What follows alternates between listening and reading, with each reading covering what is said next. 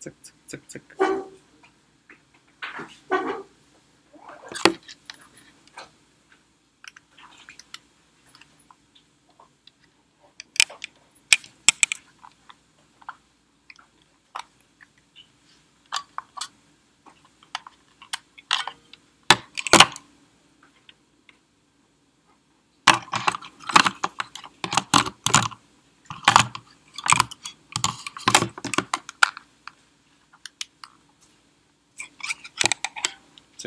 Цък, цък, цък, цък. Едно, две,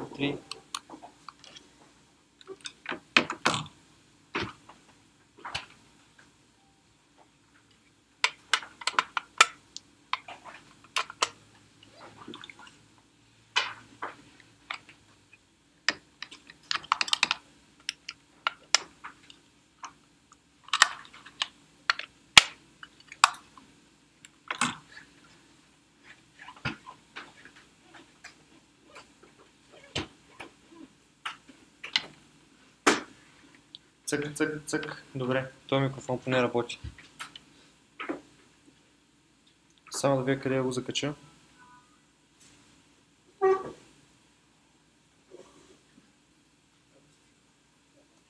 Така, добре ли се чувам или ма не се чувам почти изобщо?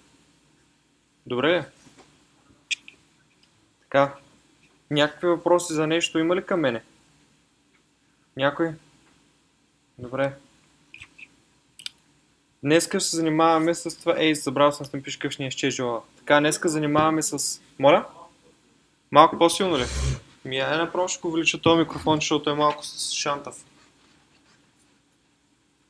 Цък, цък, цък. Едно, две, три, четири. Ще го дигна по-нагоре. Така, по-добре ли? е? Добре. Та, така, ред, днеска това, с което занимаваме, ще бъде какво са kernel модули, как да си направим kernel модул, как да използваме kernel модул и така. Първо, какво е kernel модул? Това е, да? До последно ли ще ви ли се достане да... Моля, не ви разбрах. Ме пита дали до последно ще ви е лекцията или да си... За да знае го, нали? До... Еми, до към 10 ще бъде. А, добре. Тогава иначе ще... тя, ако мисля, ако е по-рано, защото горе вече няма никой, Мгм. да си ходи. Еми, не знам как се прецени там. Вие нямате претенции. Не. Е, това ще да. Извинете, че Да. наруших лекцията. Ако някой иска бира или някакво друго пиене, сега е момента да отиде да се вземе.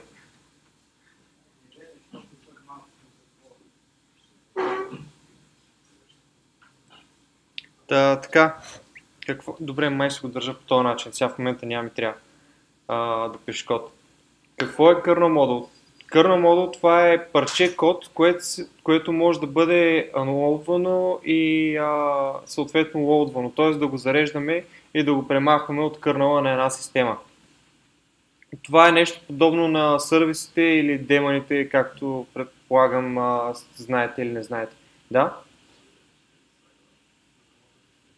Не ви чувам. Има ги слайдовете вече в сайта. Просто я качих а, преди 15 минути, имаха и малка грешка, която оправих. А, Та, така, стигна до това, че kernel модулите са подобни на сервисите или даймоните. Тоест, ние го зареждаме това парче код в операционната система и в някакъв даден момент, примерно някаква програма го извиква и го използва. Или пък имаме някакъв драйвер, на който му е нужен даден kernel модул, който да обработи информация. Може също и да, разре... да зареждаме и да премахваме също и драйвери. Тоест, драйверите също са kernel модули.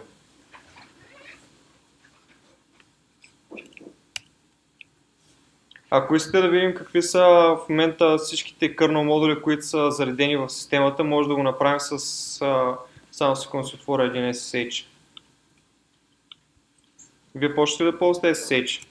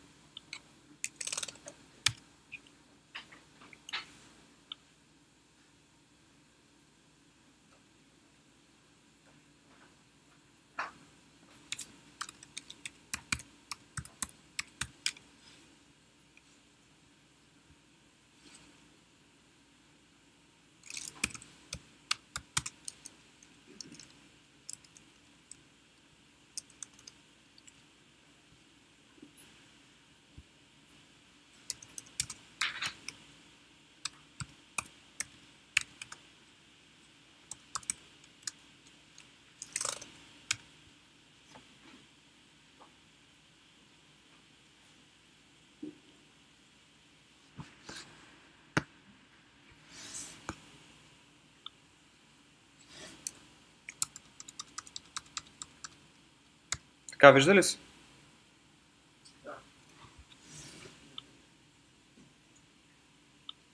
Още малко да увелича. Толкова вече е макс горе-долу, защото иначе няма аз да виждам много от нещата. Та така, като напишем LS, само че вече за тази лекция май ще бъде хубаво вече да се влезем за постоянно с супер юзър, защото принципно нормалните юзери не би трябвало да могат да пипат там и те не могат. Затова варианта, който аз предпочитам е su-s.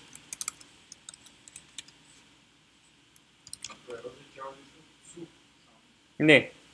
Пак си влизате с root, add, debian или add ubuntu. Тоест uh, root add, машина, add идентификатор на машината. Е така. Използваме LS Mode и вече гледаме какви kernel модули са заредени.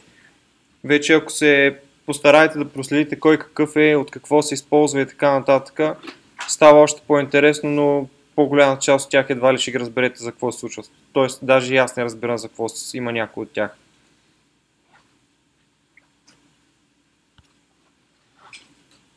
Другия вариант, за да открием а, какви са заредените модули, това е да влезем в папката PROC. Някой знае ли какво е PROC? Миналия път тук се намират всички цялостната информация за процесите, които се ръмват в момента от компютъра.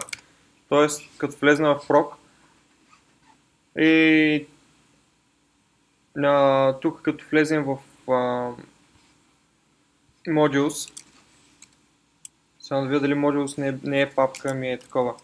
А, му използвам cat modules. Не car ми cat. И тук ми изкарва абсолютно същата информация, която видяхме преди малко. Всеки един от процесите, дали е жив или пък е някъде суспенднат. Т.е. всеки един от модулите, които в момента работят, дали са живи или суспенднати, както е и техния идентификатор.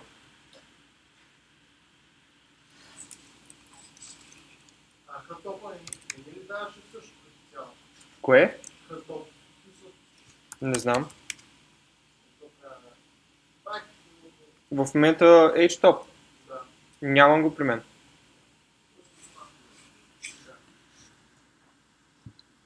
Но е възможно и да го дават. Аз най-лесният вариант е просто LS mod. Това си е команда, която се работи през kernel и която си е вградена в самия kernel. Той, че не трябва да се инсталира нещо друго и дава цялата информация, която би потребвала. Ако искаме вече да видим от някои от всички тези модули информация за него, примерно изберете нещо. Вие стартирахте ли си LS мод, за да може да видите какви модули има при вас заредени? Добре, тогава може да пише mod info и името на някой от, от модулите. Нещо, което ни интересува, примерно HID. Това би трябвало да ни каже за всички, ето. файл нейма как се казва и къде се намира, лиценза му какъв е, няк кой, който се казва Джири Козина е автор, заедно с Воштех Павлик и Андреас Гал. Uh, source versions има някакъв source version съответно. Версия VerMagic ни дава коя ни е версията на кърнала, в която е вкарано това нещо. И така, принципно е хубаво да има информация, само че колегите, които са го написали това нещо, са решили да не сложат информация явно какво се използва в него. Но да, може да пробваме и нещо друго, примерно флопи.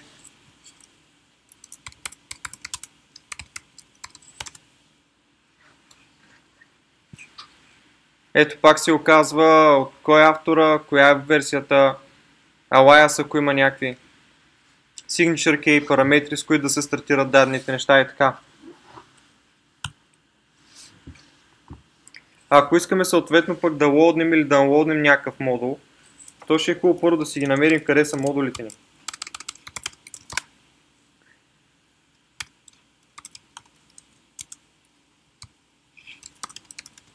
Принципно модулите стоят в uh, users, т.е. USR, source, CRC. След това може да се влезне в Linux headers. И от тук вече uh, отиваш на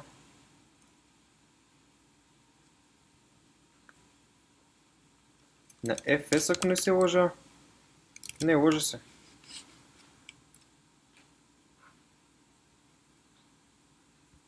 Ей, сега ще ти къде си стоях.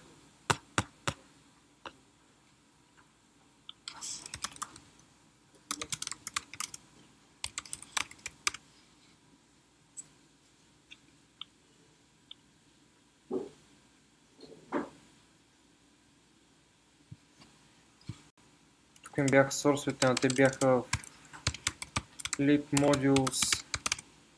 Там бях, да. 4.2 версията, която си е в момента. Да, ето ги. Тук са си модулите. А, така, ако искаме да стартираме някакъв модул, просто трябва да влезем в uh, slash lib, slash версията на вашата дистрибуция. Между другото, ако искате да си видите версията на Linux, може просто да използвате echo командата и uh, uname-r. И това би трябвало да ви изведе коя е версията на вашето ядро.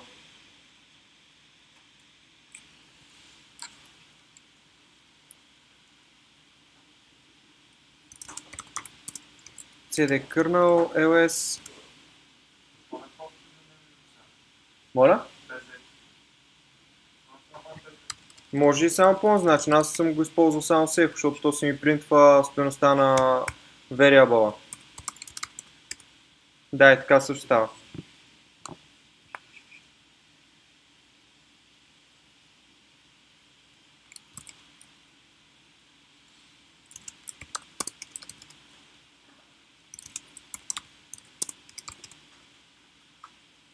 И от тук вече, ако искаме да стартираме някой модул, който да е свързан с драйверите, вече си отиваме и си го търсим. Примерно, ако имаме някакво TTY устройство, някакво сериално устройство, слизаме в TTY и от тук може да стартираме някой от драйверите, които служат за TTY. Вижда се, примерно има някакъв NGSM, точно те не съм ги използвал така по такъв директен начин. И ако искаме да впуснем някой модул, използваме insmod името, примерно на това, което е ngsm.ko и това ни е лоуднало модула. Вече сега ако кажем lsmod, ngsm ли ни се каже? Сега ще видим дали е стартирал. Да, ето го. NGSM е стартиран и в момента не се използва от никой от нищо. Ако искаме да разкараме някой модул, който сме ръннали, ползваме rmmod, името му долна черта и tab ни изкарва NGSM и по този начин го разкарваме. И вече като дадем lsmod може да проверим дали сме го разкарали. Реално. Ето ни го изчезна.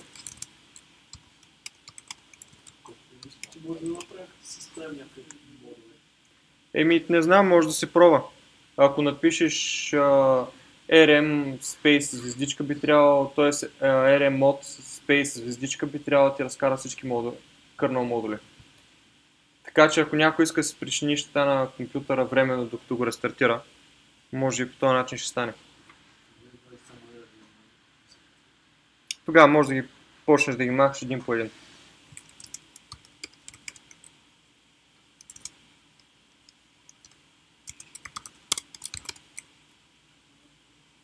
И така, тук принципно в тази директория, в uh, lib версията на, кър, на kernel ви и съответно slash kernel, може пък да си намерите абсолютно всички модули, които ги има вградени във вашето ядро. Т.е. тези, които са прекомпилираните модули. Друг начин вече пък, ако искате универсално да достъпвате тази директория, може да напишете така cd lib uh, slash modules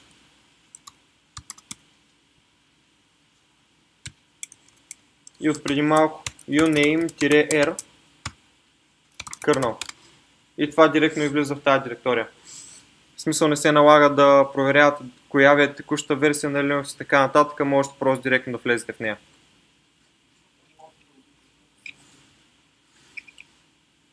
Друг вариант, за да си стартирате някакъв модул, това е да си влезна пак в драйверите са ми най-лесни. Пак ще ви примерно TTY. Ако искам да стартирам някакъв модул, има функция от по-високо ниво, която е mod probe, и името на модула е endo на GSM без KO. По този начин пак го лоудвам. И вече след това пак имам RMA мод долу NGSM.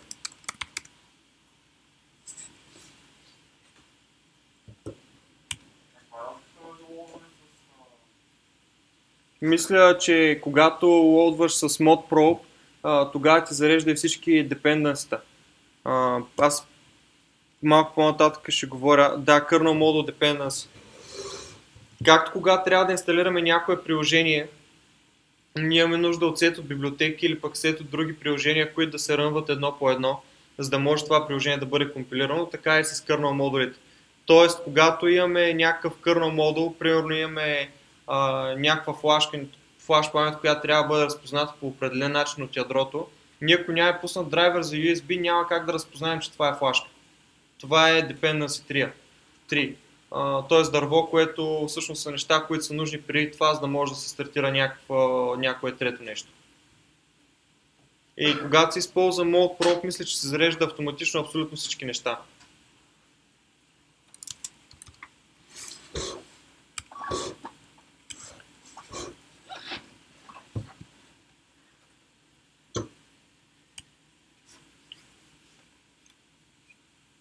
А, всички,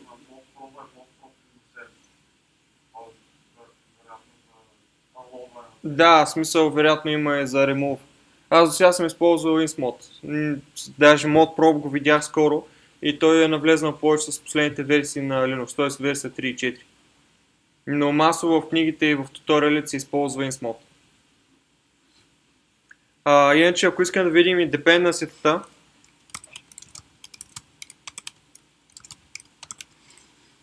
може да влезем в modules.dep с нано или пък с кет. Ай с нано, за да може по-лесно го видим.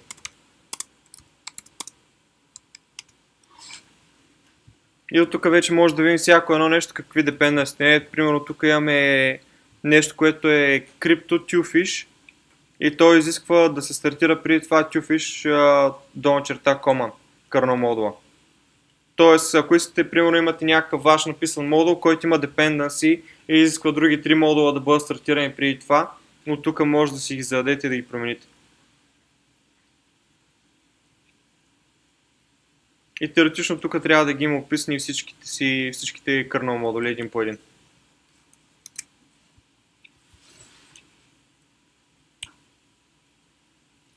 А, така, за да продължим вече трябва да почнем малко малко да инсталираме, защото започнем да пишем модули.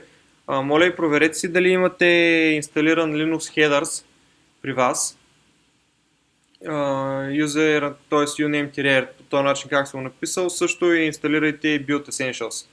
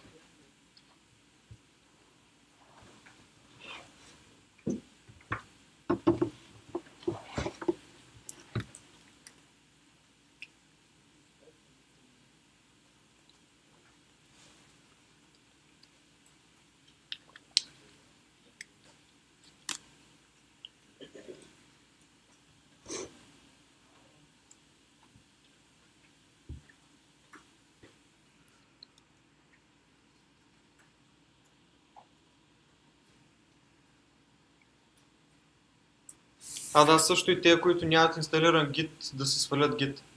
Тоест sudo apt get install Git.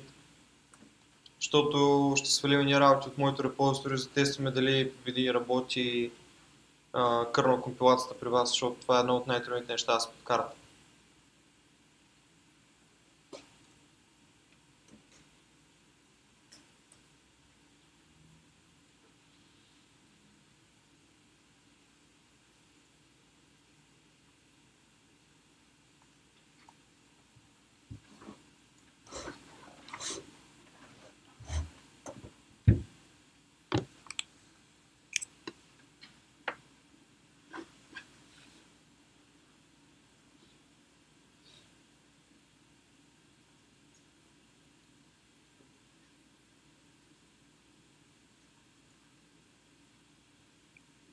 Изтеглиха ли с нещата?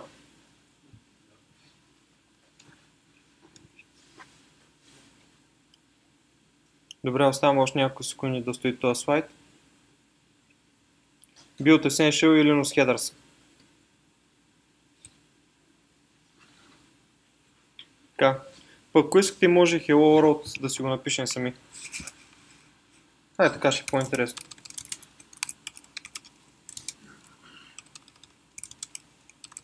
Направя една директория, която се казва, примерно, Linux долна черта 6, 06 или по-скоро ще бъде 06 долна черта Linux.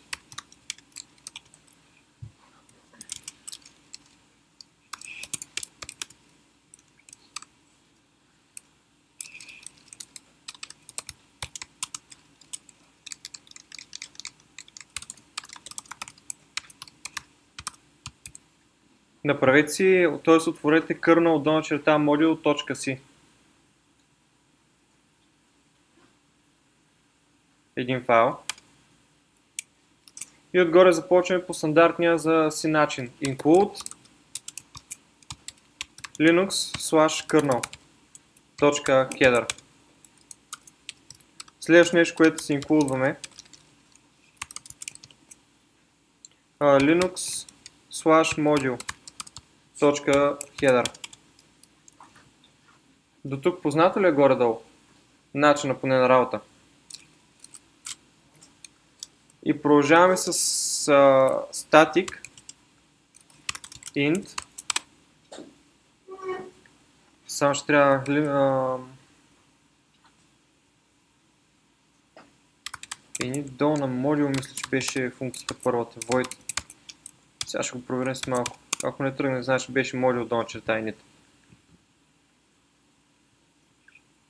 И в нея какво ще напишем и padding hello world. Искам да забележите какво пиша точно.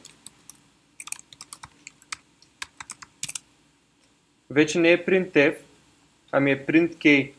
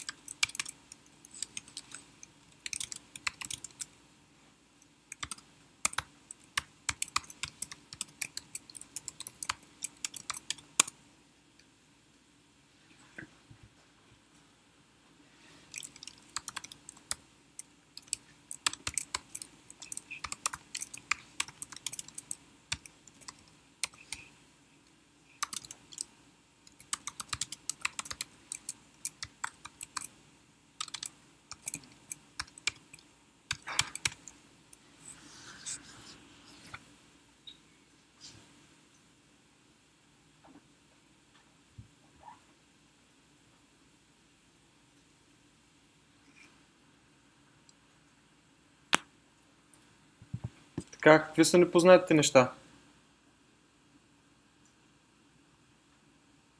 Пък може да поговорим за тях малко по-късно. Главното е, че вече имаме функция printk, която не е функция, която да е както printf. Принципно printk се използва за дебъг. Тоест има един файл, който ви доставя информация от всички printkey-ове, които са изпълнени. Другото нещо, в случая имаме вече две функции. Не е int main, ами едната е int т.е. static int init module, което, която служи в момента, в който напишем ins module, т.е. в момента, в който го, го инсъртнем, тогава се изпълнява функцията init module. Т.е. тя се вика. Тя се очаква да бъде някъде имплементирана.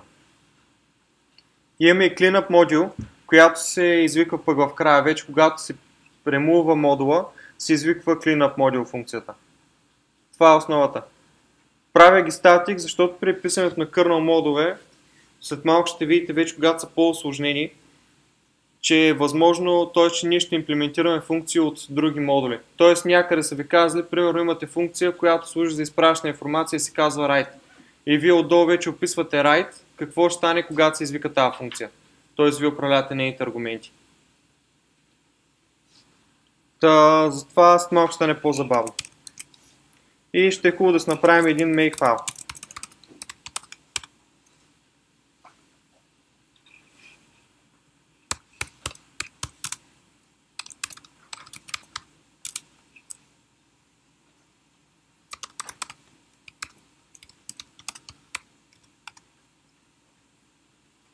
Когато пишем модул за кърнала, горе в промеливата object-m, която си е вече зададена, и я има някъде дефинирана, в това макро а, добавяме kernel долна черта module.o. Всъщност това ще ни бъде output файла на kernel долна черта module.si, това, което написахме преди малко. Плюс равно. Ами... Ние така ли работим преди да на такива лампи? Не знам, що е някакво по-гадно. А макар да може би ще оцелем. Пък мога да ви отворя пак бял терминал, а то пак като пусна една, то пак ще е по същия начин. Еми, object-m плюс равно kernel до черта module.o. Ще ви ги казвам нещата след това. Отново. А, това е първото нещо, което трябва да направим и след това ще направим пак O, две точки. На долния ред правим а, нов ред, след това Tab, нещо много важно.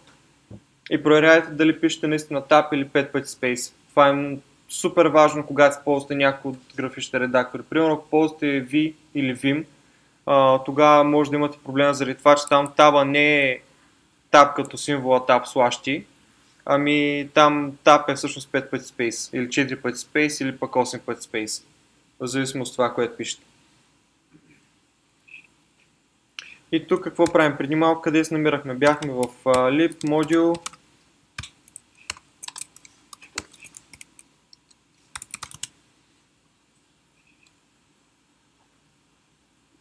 lib module bash изпълняваме uname r kernel build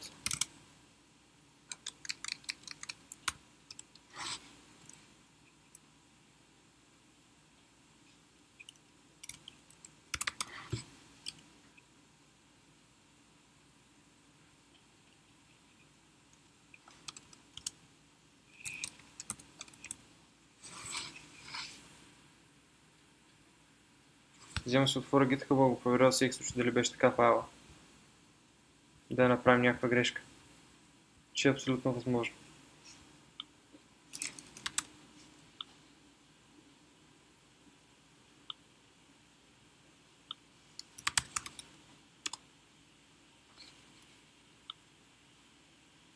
Ако използвате Git в GitHub, в моя GitHub, от днеска ги има вече всичките неща качени.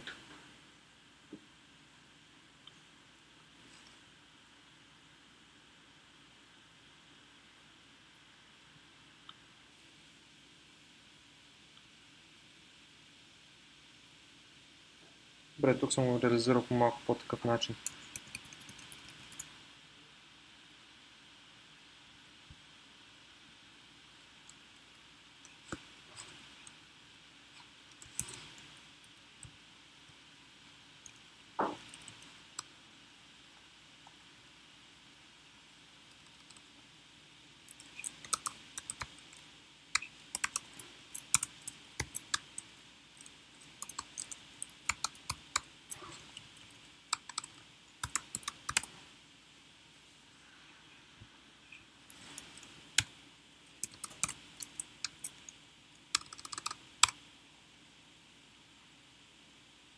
Така би трябвало да тръгне.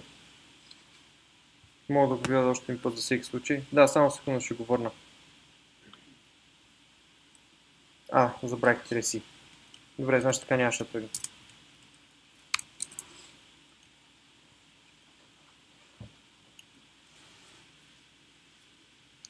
Начинът за компилиране на kernel модулите е просто да се извика make който се намира в libmodules shell, там където е uname-r build и вътре има един make файл, на който му предаваме аргументи-c с директорията, която се му е неговата и m равно на pwm, т.е. на текущата ни работна директория.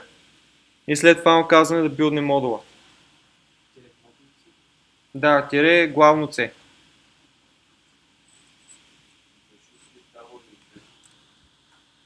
PWD, аз какво бях написал?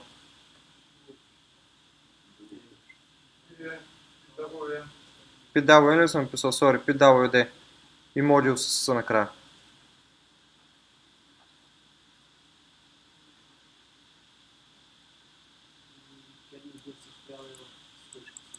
Да. Днеска ми идват малко много часове, защото съм се борил цял ден с компилиране на кърнал, защото всички книги, които ги имам за Linux, са написани за версии, които са от рода на 2.6 нещо си и са от 2001 до 2004 година. А ние вече сме на версия 4.2. Тоест всички неща почти основно са променени. И са променени и писането на самите модули изисква доста по-шантави макрота да се извикат и малко по-различен синтаксис. И съм направил всички неща, които правим днеска, да работят за най-последните версии на кърнала. Тоест да нямате в някакъв момент проблем от това, че отидете някъде да работите и ви изтуфват някаква версия на кърнала, която е версия 4 нещо си. И абсолютно нищо, което пишете не работи.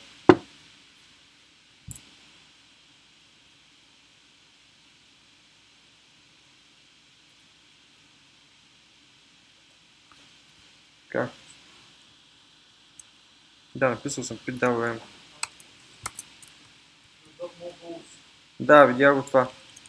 Мерси.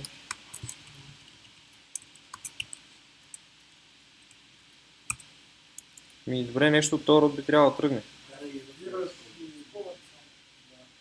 Оп, да.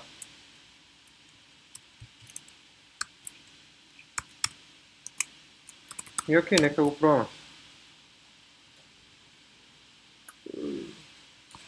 Добре, сега ще видим каква правописна грешка съм допуснал. Init module, cleanup module. Hmm.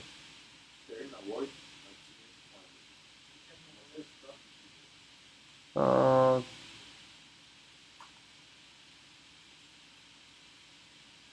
ги изисква да бъдат много статики, добре.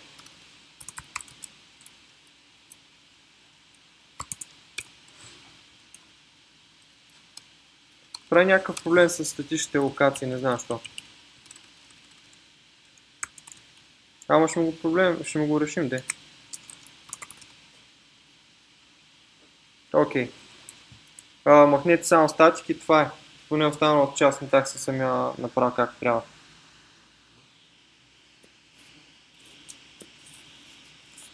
Иска ли да отворя пак файла да се види?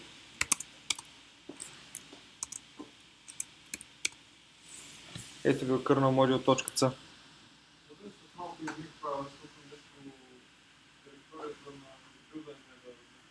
Добре.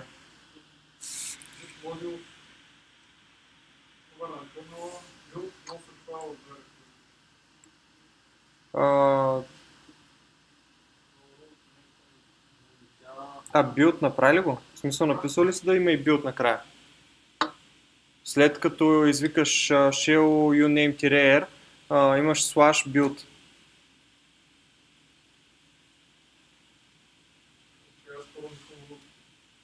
А да, ако не сте root, няма да ви случат нещата.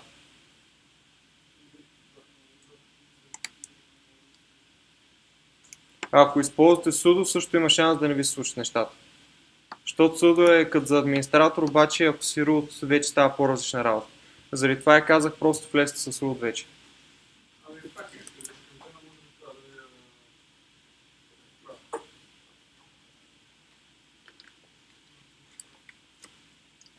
Добре, ще го изключа това за малко, да му отворя Makefile.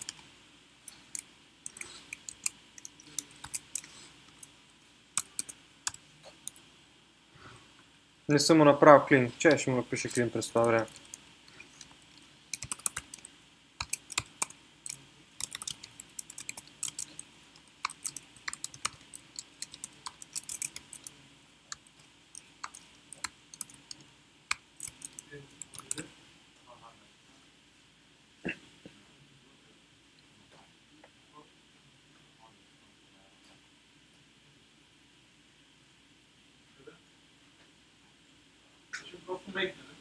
Да, просто make.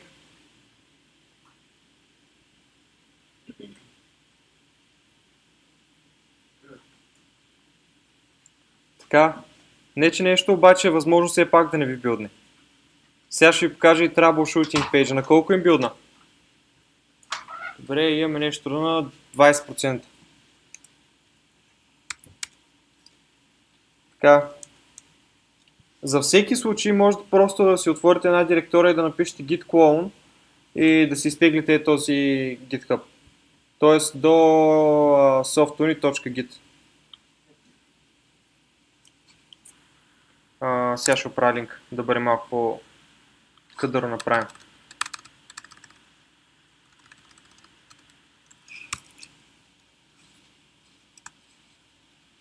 Така.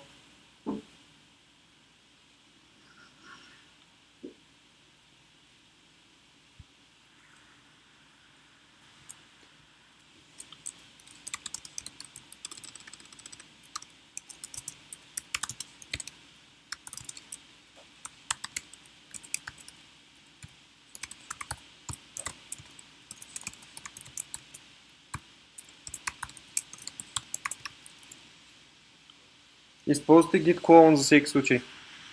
Вече си го свалите в някаква папка и оттам ще пробваме да го мейкнем. Ако и с това нещо не стане мейка, тогава ще трябва да има малко troubleshooting.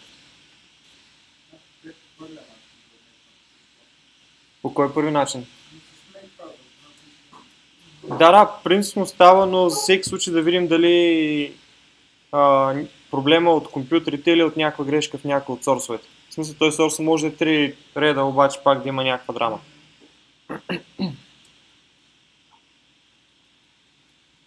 Когато клонвате от Git, не забравяйте, че е case sensitive. Той ще трябва да гледате големи и малки букви.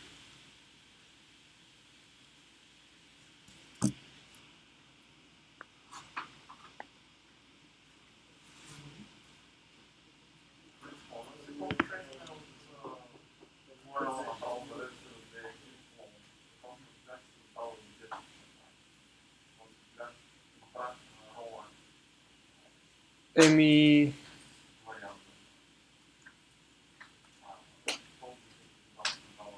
Не знам. С WGET също става, ама... Не мога ти кажа. Точно.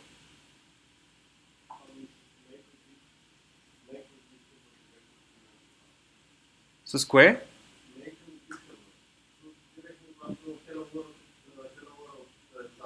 Мхм. Не става, добре. А, какви са... Трябва, пак вижте дали сте влезнали с а, root. Т.е. sudo-s, дали са всички. Дали са логинали. Така, с, само с sudo може и да не стане. Ако сте само sudo. Трябва просто да влезете с root за всеки случай, защото днес имах, т.е. нощи имах проблеми още с това нещо. Добре, какъв е troubleshooting-а? Хващате и си изтегляте kernel source sudo apt-get install kernel source. Той се намира в uh, cd user slash src. И оттам вече трябва да изпълните разархивиране tar xvfj linux source нещо си нещо си. Влизате в него и почвате sudo make devconfig. След това make prepare, make modules и make modules install. Тези, които нямат проблеми, не пипат нищо. Да не се появят проблеми. В смисъл, ако нещо работи, това е, може само да се прекръстваш преди компилация.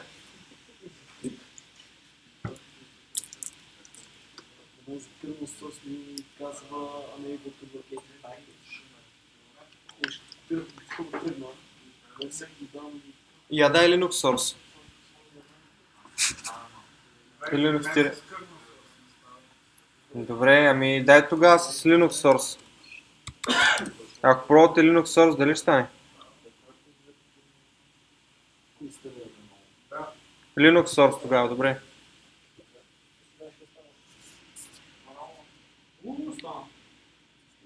По този начин, дето казах, получи ли се? По, първия начин. Кой беше първия начин? Преди да Аха, от тук като се мейкне.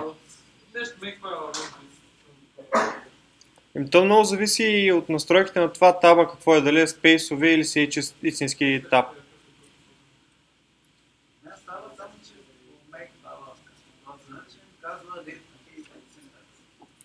Възможно е. Аха, добре. Ами, като цяло за останалите траблшутинга е по този начин. А, тази процедура отнема между 5 и 10 минути горе-долу. Затова ще продължа малко нататък. Ако искате с действайте си, почнете да го правите това нещо. Аз ще продължа малко към следващите, следващите два туториала. Всичките неща ще ги правим днес, ги има вече качени на този GitHub, който ви давах преди малко като линк. Така ще да могат да се разгледат и да се използват, ако си прецените. Така, малко по-дълбоко в кода. Какво се случва? Първо, което видяхме, сега с това го обясних, но за всеки случай ще повторим. Влизане си в C файла и така. Инклудовете са абсолютно същите, както се случват при нормалния C. Тоест, то това е C код. Откъдето си го погледнете, това си е просто C синтаксис. Използвате си инклудове, които ви инклудват хедър файлове, които се намират в а, директорията Linux. Мога да покажа къде се намира. Тя е в user, Linux, а, не е глупости, user, source. А, след това ви е версията на Linux, която използвате. След това имате include, Linux, kernel. В тази директория с малко мога да покажа, ако искате. Там се намират всички хедър файлове, които се използват за kernel модули.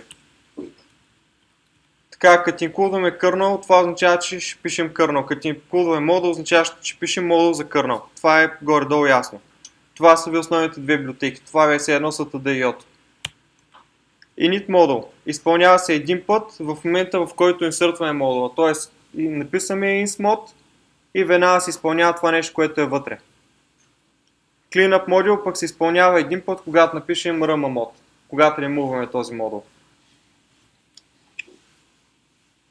Така, uh, init модул трябва да има return стоеност, защото очаква да си има return стоеност. Тоест, uh, когато инициализираме нещо, трябва да знаем дали е успешно инициализирано или има някакъв проблем. Ако return е 0, това означава, че е успешно инициализирано. Така, излизам от тук и това, което правя е да напиша insmod kernel module.ko и сега може да се каже lsmod, за да видим дали наистина това нещо се е инсъртнало. Оп, ето ни. Kernel module size 16 кБ. Не се използва от никой.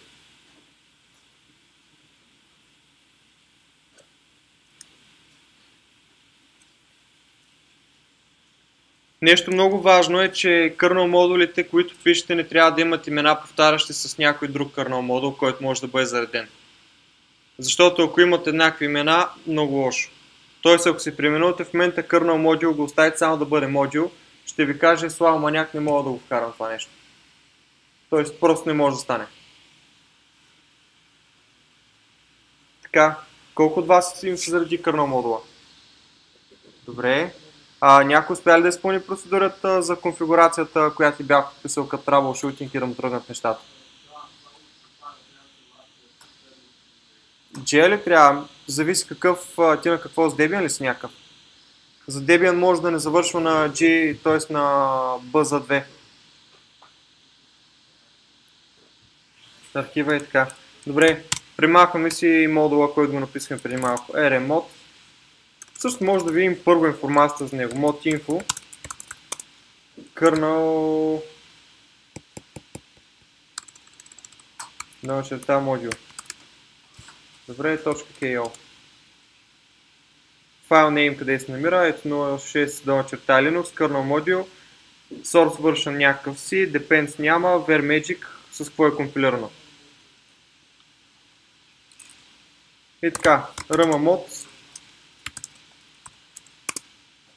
kernel модул. Вече го няма.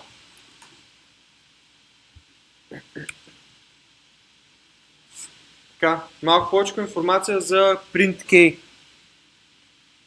Uh, PrintK като аргумент взима първо има един флаг, който е един defined. Uh, в случая го написахме kern долу черта info. Понеже когато дебъгваме и когато използваме PrintK има няколко различни нива на на важност мога да кажа на импулса, който се, т.е. на информацията, която се предава от PrintK. Най-стандартният, от който се започва, това е kernel debug. Той се намира на най-низко ниво на приоритет. А пък най-голямото е kernel долна черта alert, мисля, не kernel critical. Това е най-високото ниво и това е все едно система, в която ти казва, пич всеки момент ще гръмне операционната система, защото си е плоднал някакъв kernel модул, който е щупен примерно. Всички тези, а, всъщност начинът по който трябва да проверим дали ни е работил преди малко другия вариант, дали ни е работил модула, това е като му кажем а, един cat, т.е. влезем, с, а, влезем в директориите varlog. Да, това е другия вариант. И тук в varlog трябва да имате или messages, или syslog. Аз имам syslog. И му казвам cat syslog. И ето преди малко модула, който го заредихме, е казал Hello World, Goodbye Cruel World.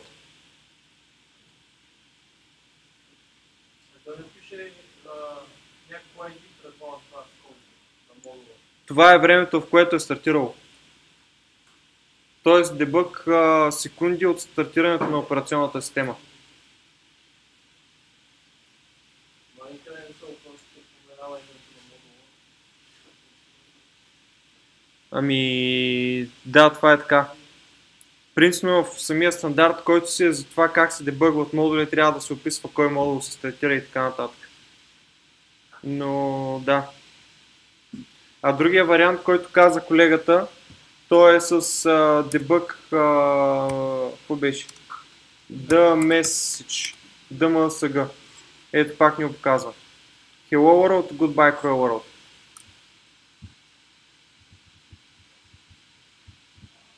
Сега, ако примерно влезна в файла, или аз малко ще поговорим малко повече за приоритетите.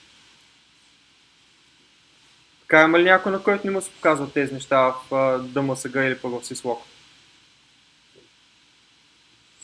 Добре, предполагам, че няма.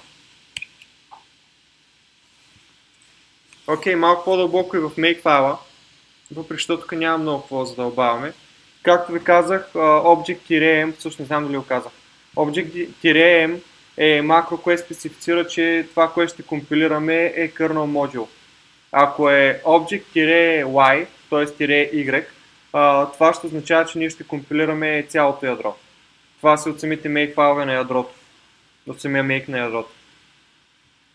А, накрая използваме .o, защото това ще ни бъде все едно крайния файл, който ще ни бъде компилиран. Един от крайните файлове, object файла.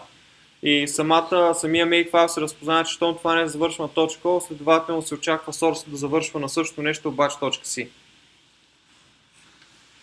Make файловете се намират в Flip Modules, версията на kernel build. Вече ако искаме, тук може да правим крос компилация на модули за различни версии на билдовете и пак а, просто да стартираме make файлове с а, различен kernel version. Тоест може по този начин да си ги променяме и да си ги билдваме на различни места. Може да направим някакъв голям скрипт, примерно пишем един kernel модул и компилира за 10 различни системи. Вече има нещо много яко, което супер много се кефи и това е, че има документация за това как се пише самия make файл. Тоест намира принцип, където е Linux source, user src и тук при мен users, т.е. имам Linux source 4.2.0. Забравя да пише source. Тия, които го нямат, могат просто да го изтеглят. sudo apt get install linux-source. Или пък мога да влезна в директорията от миналия път, където се инсталирахме и си теглиме сорсове, там също го има също нещо.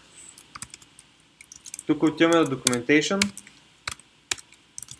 Uh, в Documentation отиваме в uh, kbuild директорията и в... Остава малко време да го видите това къде директория какво е. И влезете до там.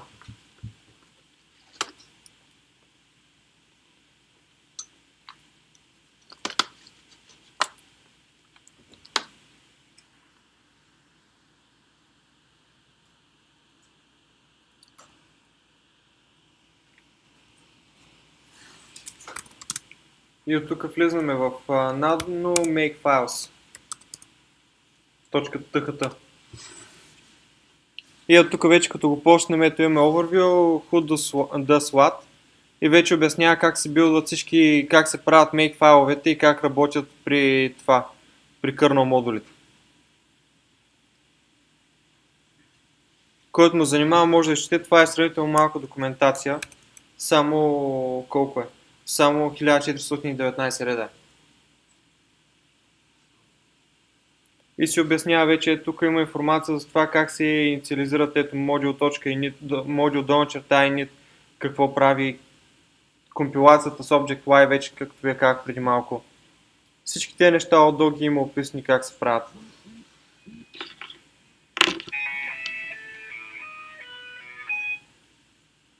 Sorry. Така, повече внимание тук не мисля, че, че трябва да отделяме. Запомнете го, че в Linux Source Documentation има супер много неща. Има за make файловете, има си за header инсталацията. Преди малко header инсталацията, която се фейлваше при някой дет не ще да им компилира. Header инсталация troubleshooting съм го взимал от тук.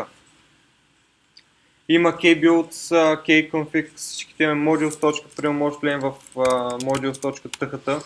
Тук има информация за това как се правят, как се билдат външни модули, как се инсталират модули, за какво служат и така. Тоест тези неща ги има като документация, просто ви трябва да имате няколко дена свободни да ги прочетете. Някакви въпроси има ли до сега?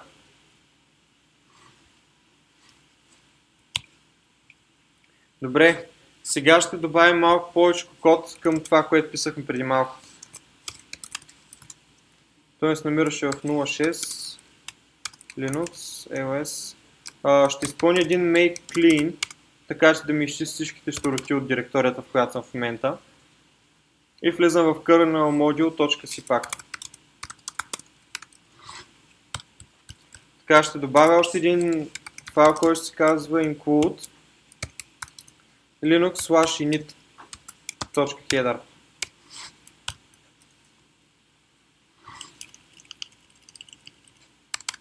ще направя малко промени от файла. Примерно този файл, който беше init module, вече се казва само init. И пред него ще имам static int долна долна черта init. Така ли беше? Да, init се водеше. само че не би трябвало да направя проблем така.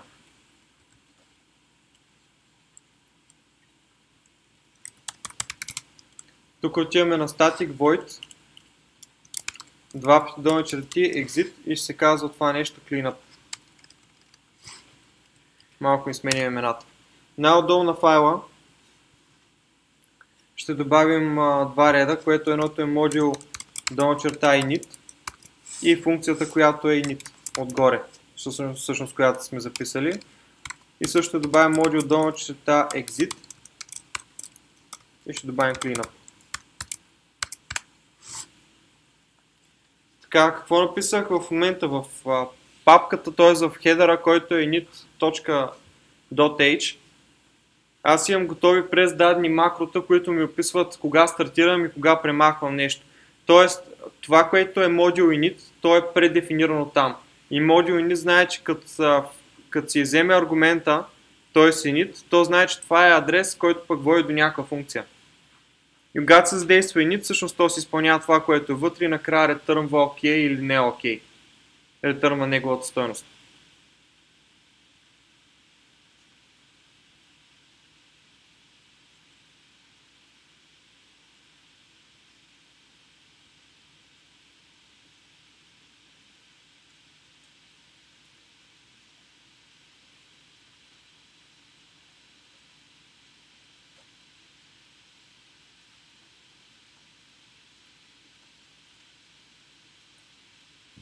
Това нещо го има като а, втория source, който е качен в GitHub, който може да го дръпнете.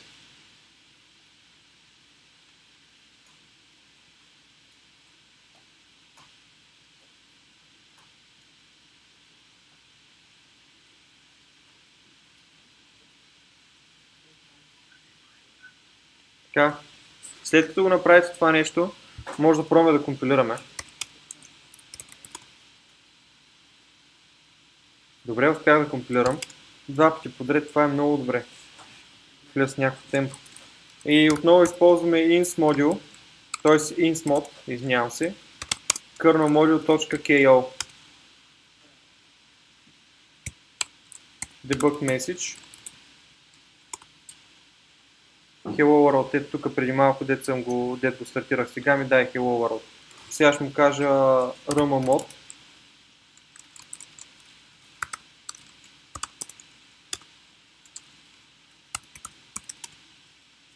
Ето goodbye Cruel World. Добре. Изглежда, че работи. Искате ли върна пак source?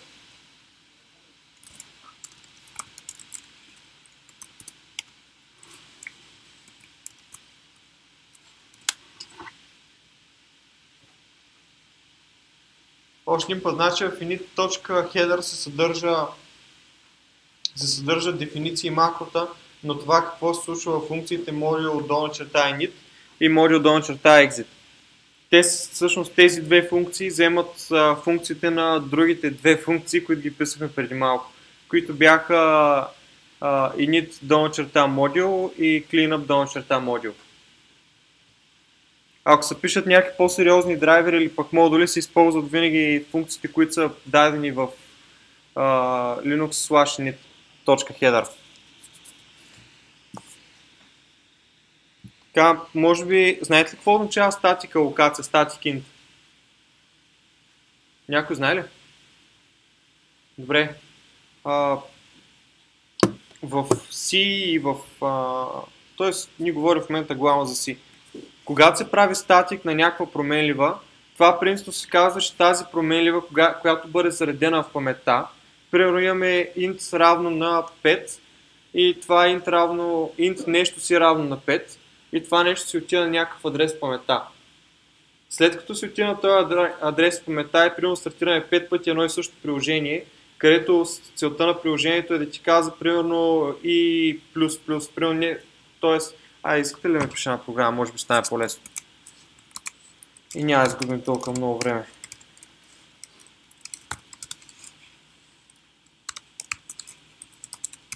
Идеята е, че ние правим някаква, правим някаква статична локация и когато стартираме програмата, ние знаем, че на това място в паметта ние винаги имаме определена стоеност. Тоест, колкото и пъти да стартирам тази програмка, която ще използва това място в паметта, тя няма да инкрементира по някакъв ненормален начин на стойностите. Ами, има адрес, който се стои винаги алокиран само единствено за тази променлива, докато програмата рънва. И също в файловете, примерно, може да имате 10 файла, в който това е един вид глобална променлива. Може би, т.е. приближава се до дефиницията за глобална променлива. Така ще ви го кажа и може би това е най-добрият начин да бъде описано. Имаше един хубав екзампъл. Тя се е в паметта и си стои на едно и също място и просто когато се аксесва, ако е със същото име в същия файл, може да сме я дефинирали в някакъв for цикъл, примерно. Обаче ако стои в същия файл със същото име това нещо и я инкрементираме, тя няма да започва всеки път от нула или да казва това нещо не е алокирано, ами ще си продължава броенето. Имаше един туториал, скоро гледах. А... В първия момент е тогава функция, кога е Тя е да е в функция пак, ако тази памет е локирана, ето тук, точно това беше якия екзампъл. А, виждали сте така ли да взема да увелича малко, може би ще е по-добре. Така, окей ли? Имаме някакъв integer a равно на 10. Имаме static integer sa равно на 10. След това изпълняваме a плюс равно на 5 с a плюс равно на 5. И сега въпросът е, принтефваме ги тези неща. Принципно логиката, която би трябвало да всеки да използва е, че А и СА постоянно ще бъдат равни на, ще бъдат равни едно на друго. Само, че когато ние сме дали static int СА, вижте как се инкрементира. Тоест вътре във функцията ние алокираме един адрес, който е алокиран само единствено за тази променлива. И когато го инкрементираме, ние сме му дали пак static int СА равно на 10, то не се връща от 10, ами продължава да си каунтва.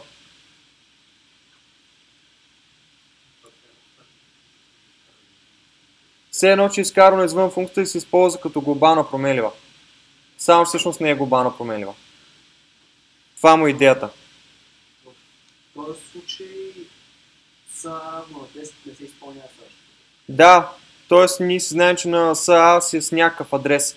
и не го изпълняваме втори път или пък трети път след това, когато му казваме равно на нещо. А само се изпълняват операциите с него. Статик, това, е, това не се случва реално след като се компилира програмата, ми е преди самото компилиране. Се изпълнява. Когато види програмата статик, знае, че един път ще локира този адрес за тази променлива и вече след това ще си използва само адреса, обаче пък няма да изпълнява втори път равно. Тоест няма да го инициализира втори път. Или пък трети, четвърти и така нататък. Става само един път, първи път, като се извика функцията. И когато вече тази програма е приключила изпълнението си и се клинва от паметта, само тогава се премахва статик. Другото нещо важно за статик е, че примерно ако имате три отделни файла и в единия файл сте написали статик някаква променлива, няма как да го предадете към другия файл. Тоест статик променливите остават вътре в файла, който сте го написали. Точно така. Принципно Singleton Design патърна се използва супер много при кърнал. И аз а, при кърнал модулите, аз правя една, понеже съм писал малко или много на Objective-C и правя една съпоставка, че цялостната делегираща система, делегатите, които се използват при Objective-C, произлизат всъщност от кърнал модулите. Та, заради това се правят статик нещата, защото вие ако имате един кърнал модул, примерно и го зареждате с още 5 или 6 или 10 други кърнал модула, които са нужни, и ако всеки един от тези кърнал модули имате и ако всеки един от тези 10 кърнал модула вие имате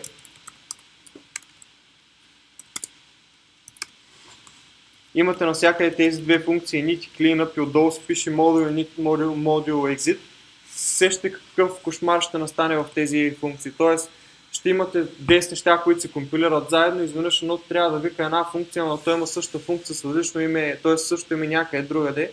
И за да може всички тези неща да се останат, т.е. еднаквите променливи с еднакви имена да се останат вътре в файлът, се използват като стати. Това е, това е основната идея. А пък долна черта init долна черта exit са макроси, които са създадени в Linux slash init.header.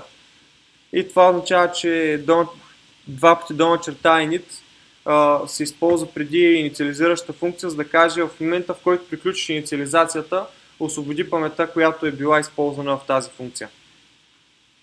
Затова се използва два пъти долна черта init. Ако това нещо го няма, и ако имаме някакви статик неща в статик инта вътре, те си остават в паметта. Обаче, пък ако сме раздали с два пъти долна черта init и имаме статик неща вътре, те ще бъдат освободени веднага като се ретърна стоеността.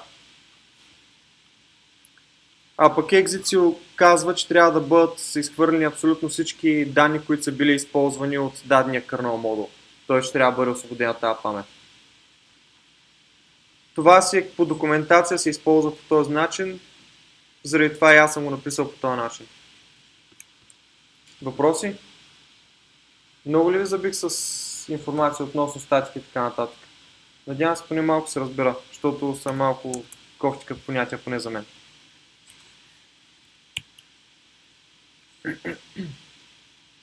Да, тук съм ви отписал за init exit и съответно функциите. Ох, ще успеем да напишем една програма, да пробваме. Добре. Така, това, което трябва да се направи, като използваме printk, а, ще използваме printk, все едно ще използваме printf. Искаме да направим програма, която принтира волюма, т.е. обема на куб с страна 11 см. И отговорът трябва да бъде в а, метра на квадрат. Метра кубични също, метра на трета съм написал като некадърник. Така, това е задачата. Часа в момента е 7.18. 10 минути мисля, че би трябвало да са ви достатъчни. За да напиша, т.е. в 7.30 ще направим една проверка. Някакви въпроси пак? Аз ако искате ще минаваме и сега ще мина, ако някой иска да пита нещо и така. Да, да, в DMSG да се види резултат. Там трябва да бъде принтиран, като използвате uh, Kern Info.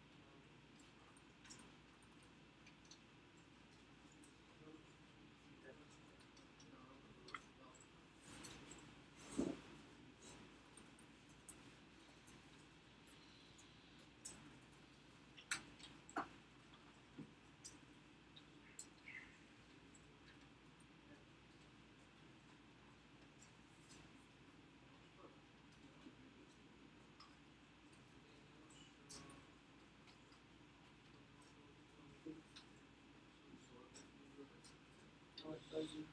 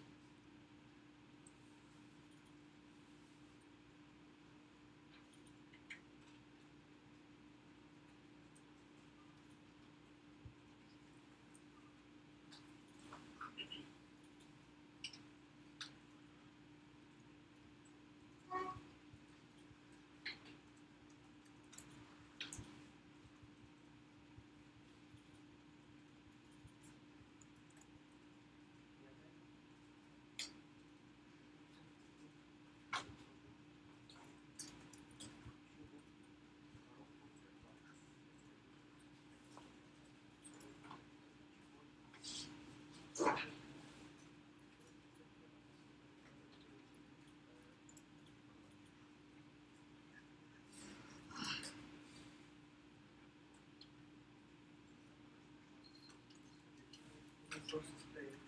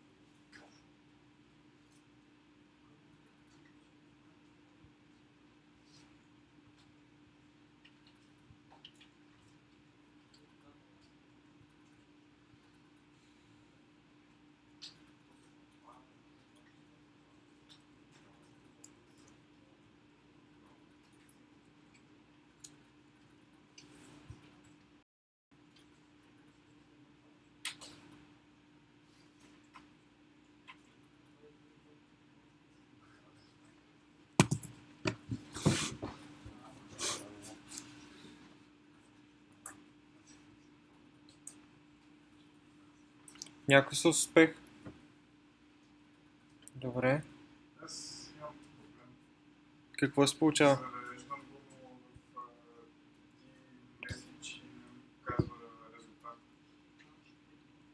А, показва ли ти нещо изобщо?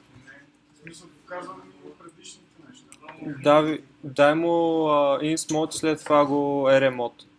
И виж дали ще ти покаже нещата.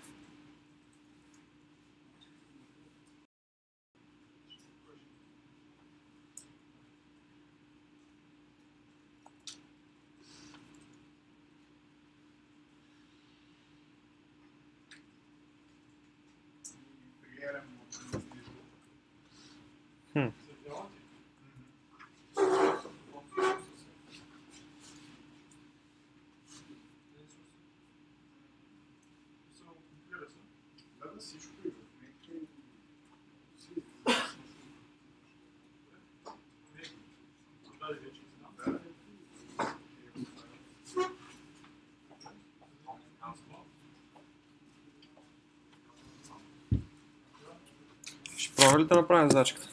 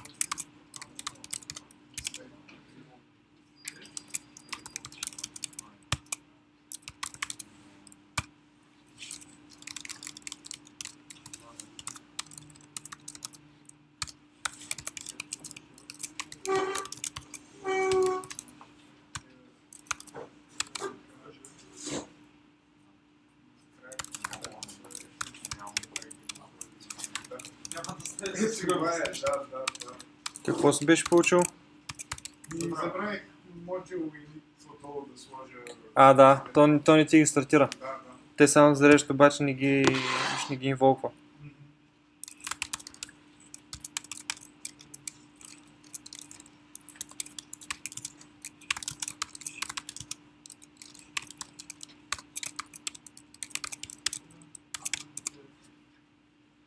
Така, вариантите са два.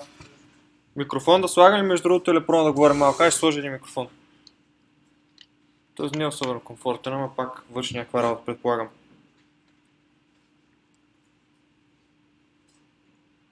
Та, така, вариантите са два.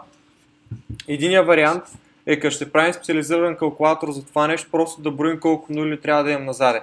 След това пускате едно модуло на числото едно с броя на нулите и приключвате. Това е единия вариант.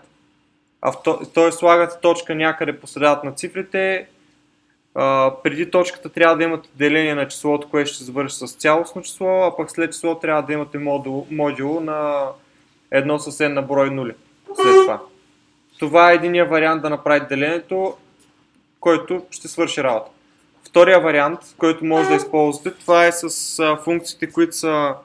Аз съм си ги подготвил малко като пиштовче тук. А, функциите са kernel долу на FPU долу на begin, което ви разрешава вече на, т.е. казва на процесора ще използваме floating point capability, т.е. възможности да изчисляваш непълни числа. И като приключите това изчисление, след това се извиква функцията kernel FPU end. Това е вариант. С kernel FPU не съм го правил, чувал съм, че се прави и знам, че се дава на интервю това нещо за Linux developer. Аз заради това и провокирах. И повечето Linux девелопери, които са писали малко недостатъчно, ще кажат на интервюто, няма как да смятат floating point числа. Има. И така, почваме с int което е равно на 11, нали така? А, следващото нещо, което трябва да направим също е да изчислим резултата int result. Ще бъде на 11 по 11 по, т.е. на сайт 3 пъти.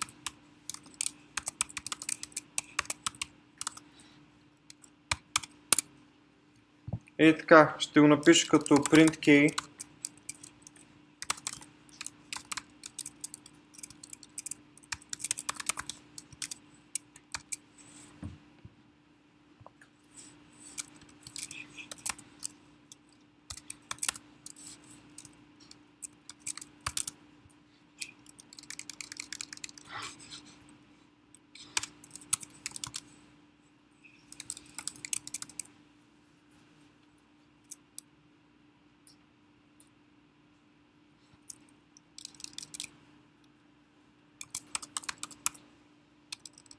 Запишем? Степен на десетицата ли бъде?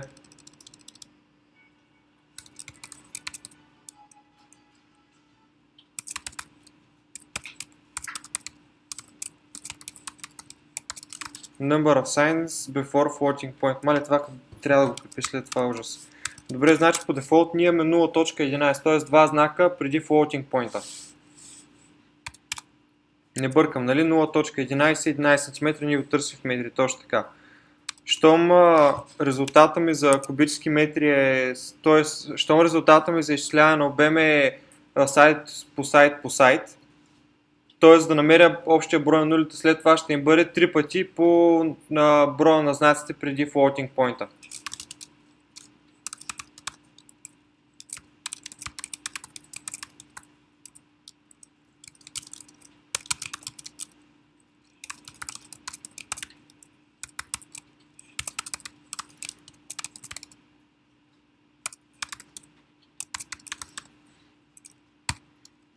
Надявам се, съм допуснал правописна грешка.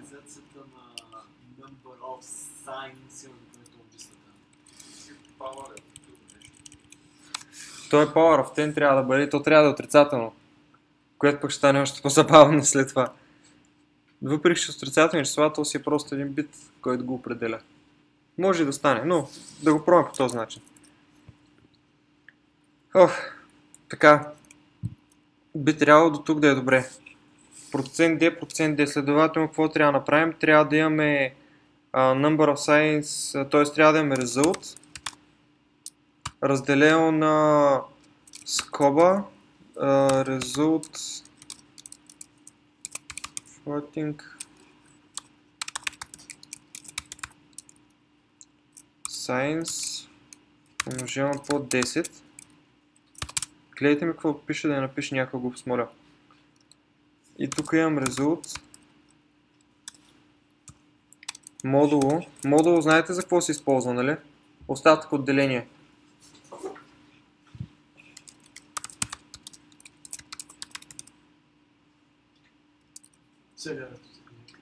Да, целият ми ред отива на другата страна. Мога просто го пусна на ново на следващия ред. Може ще е по-кадърно. Така. Result floating science. Отново по 10. Нещо от този род трябва да се получи.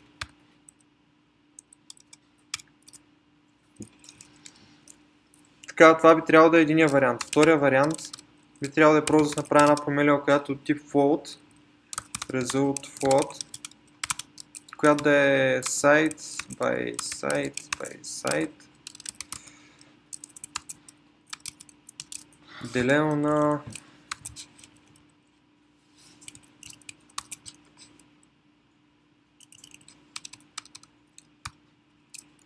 това нещо го разделяме на result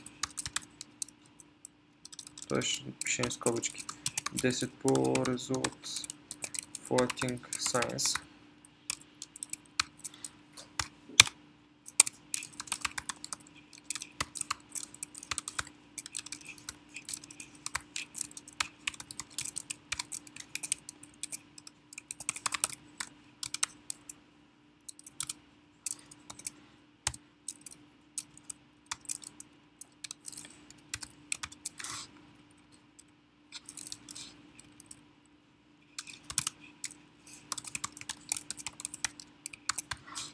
Така, само че преди самото float да го изчислявам, трябва да запиша тази инструкция, която е uh, kernel долна fpu долна черта begin.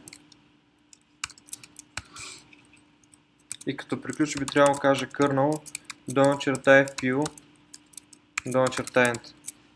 Ще видим дали ще компилира, не съм убеден. И след това трябва да пуснем едно return 0.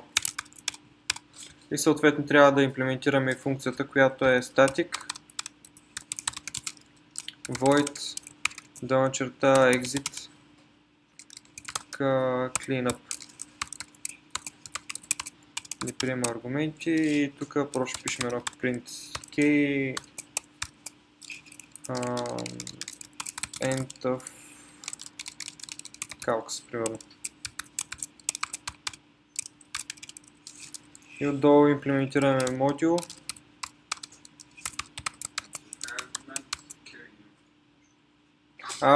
Принципно мога да го запиша и без. Ако не използвам а, аргумент, а, в случая на, и, когато не използвам kernel info, kernel debug, kernel critical, тогава си има дефолт, който се записва. Тоест не е задължително всеки път да го пишем, а е препоръчително само. Мерси за ноута. И този дефолт аргумент може да се настроя след малко, ще ви кажа откъде. Така, module init. Init ли ми се каже само функцията горе? Мисля, че да. Module dollar exit. Cleanup. Така, записвам го. А,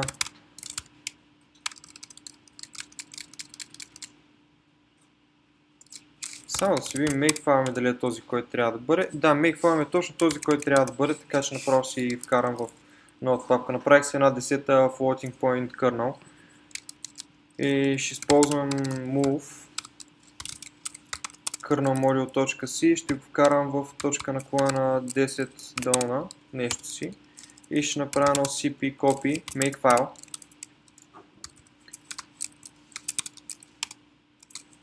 Така, отварям си 10-та папка, така make и да видим дали станат нещата. И сега, да видим какво ми гърми. Kernel FPU Begin. Да, вероятно са в някоя библиотека. Добре, ще ги разкарвам тя да видим дали са получи нещата, защото не ги знам наистина къде то ще се намират.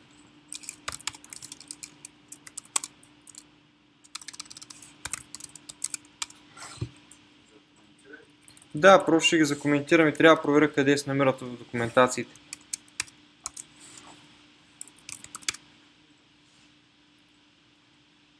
Уху. Май билднах. Brains mod. Модул ми как се казваше kernel модул. Точка KO. Knockout. И сега debug message ето, в единия вариант ми изписа 22.11. Колко отговора? Май не е толкова. Добре, значи не ми излега като такова. Добре, значи това идва като първа задача за домашна работа. И аз ще си го направя аз като първа задача за моя домашна работа, ако видим как то се прави. Това просто ми дойде като идея, че го дават на интервюта, обаче не съм го тествал дали работи. И това ми беше идеята да го дадем тук и да го помислим. И затова ще го оставя като първа домашна. И съответно аз ще го разцъкам, защото това ми е интересно. И така. А, тези, които го направих, как получиха резултат?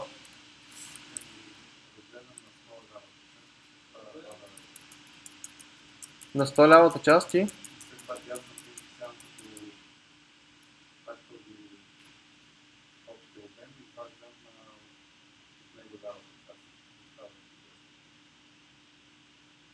Аха.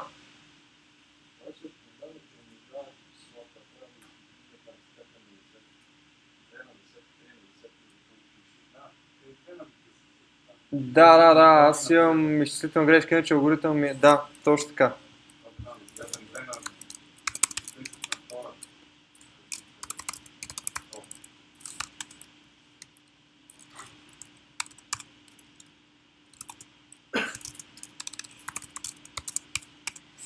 Аз наистина го правя по доста малумен начин, защото трябва да повдигам на степен, а не да умножавам.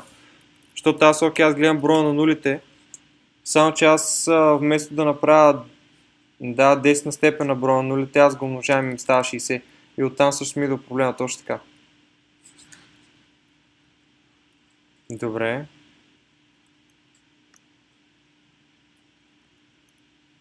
Иначе това е алгоритъма горе-долу. Смисъл по този начин просто един вариант от една страна ми е с деление, от другата страна ми е с модул. модул. И така би трябвало да се получават. А има ли някой, който се опита да го направи с floating points?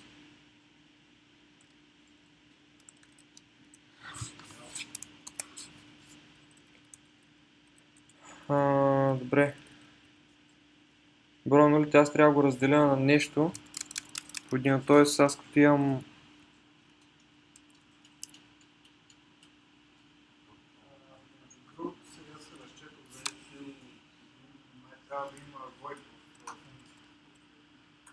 Как така да има void в функцията? А, на функцията, която използвам. А, я вижда ли няма просто по-скоро някакъв include отгоре, защото мисля, че в модул и в kernel ги няма като функции тези неща, тази функция. Аз това се разтърсих. Защото би трябвало, ако няма аргумент, то автоматично да се разпознава, че това е void. Теоретично е по този начин. Така, значи result floating science. science. А, това трябва да ми бъде 10 на 2, 10 на 4, 10 на 6 трябва да ми дадат. Назаре като floating science-. А, само че аз нямам power тук. Е, ето, на мен ми трябва от а, сантиметри в метри. Т.е. когато в края го множа по 10 на минус 6, би трябвало да получа отговора в кубически метри. Защото един кубически метър би трябвало да ми е 1 по 10 на 6 кубически сантиметра. 100 по 100 по 100, т.е. 10 на 6 нали? 10 на 6. А, добре, си поиграем малко с математически функции. Аз вече сети как да си го направя. С просто с един for цикъл, който ми извърта от само започна с int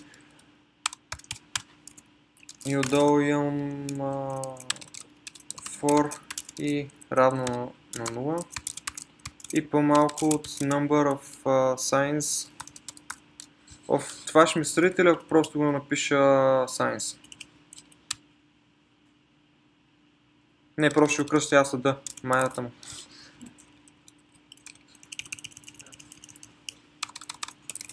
По-малко от А са да по number of sites. Може да си го направя int number of sites. Те на куба са три различни, те са 6 страни. Добре, няма се казва number of sites, ми се казва number of ASD. Равно на 3, не ме мразете. ASD по number of ASD. Така би трябвало да е strong и плюс плюс. Добре. И сега какво правим всъщност? Ние умножаваме 10. А, не, трябва да има отгоре една база. Която ще бъде 10, а пък числото ми а, int number трябва да започва от 1. И ито ми трябва да стартира от единица, защото нещо на степен 1 е 10. Нещо на степен 0 е 1. Също трябва може да ми стартира и от 0. Не би трябвало да има проблем. То си каже само. И тук имаме number по-равно на base. Казвайте му, ако написа, че някаква голяма глупост, моля ви. Така, съгласни ли сме с това? За степенуването.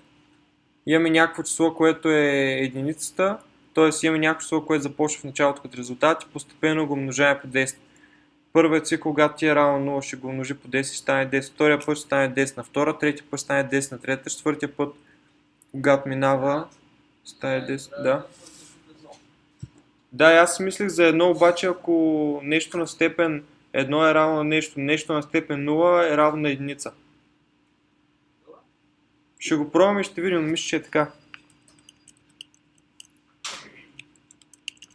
Така, резулт разделено на number и отдолу result module number.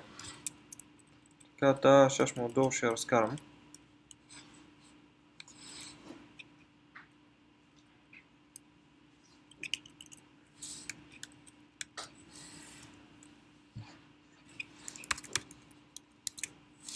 Добре, пробвам го компилирам това нещо.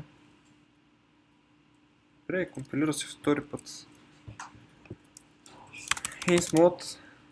Сега преди малко май не го... Не помня дали го ремувнах.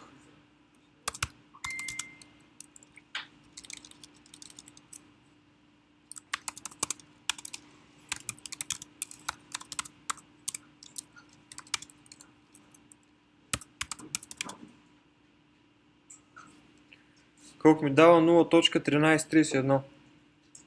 Толкова ли трябва да се получи?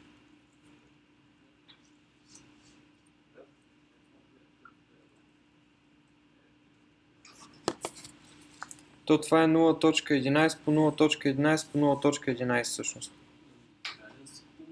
С малко повече, нали трябва с нещата сякаш.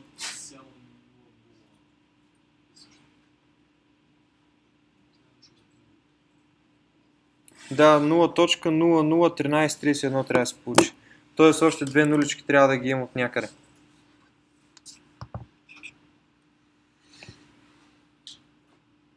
Добре, както да е. Това нещо остава с домашна, за да го помисля аз малко повече. Е така, сигурно правя някаква малумна, супер малумна математическа грешка и заради това не ми излядат. Иначе като алгоритъм би трябвало да е окей. А, като алгоритъм е окей, въпросът е, че аз трябва да вкарам две нули отпред, защото то го принти като интиджър. Добре, остава за домашно това нещо. Ще го добавя като такова. Защото ти е много напред време, вече стана 8 часа. А, така. Малко по-надълбоко в PrintKey. Ще влезем. А... Ако искате да видите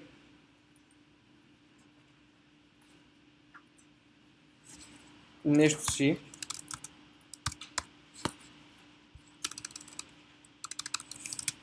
пуснем реша в прок, в процес, ех,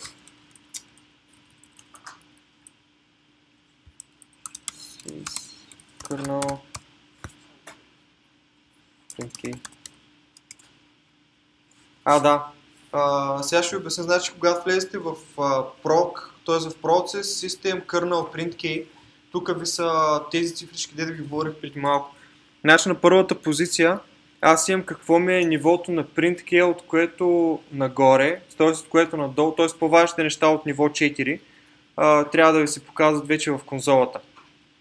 Следващата цифричка, това е дефолтното ниво, т.е. ако не напишете аргумент за print key, към, какъв, а, към каква сериозно ще ви се остане, какъв, какъв приоритет. Третото число, в случая, което единица е минималният приоритет, който е наличен за системата ви, а четвъртото е максималния.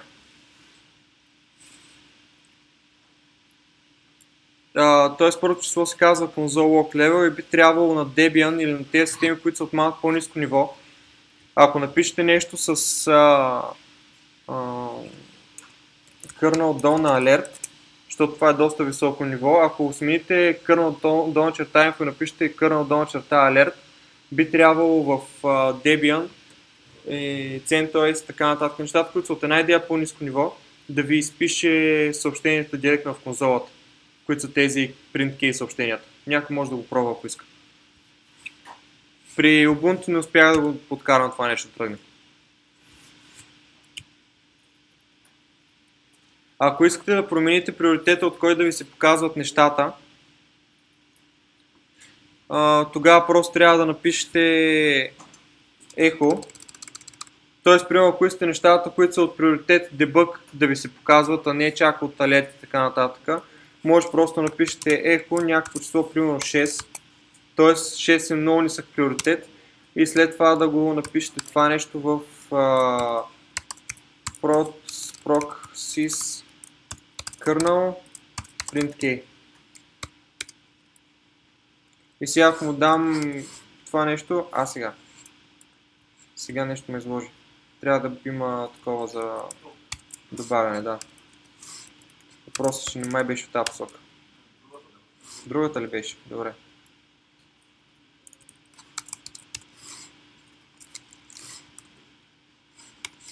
Толкова готово. И в този случай вече би трябвало съобщение от по-низко ниво като инфо да ми се принтват вече в а, конзолата. Тоест от а, тези, които са по-маловажни да ме занимават.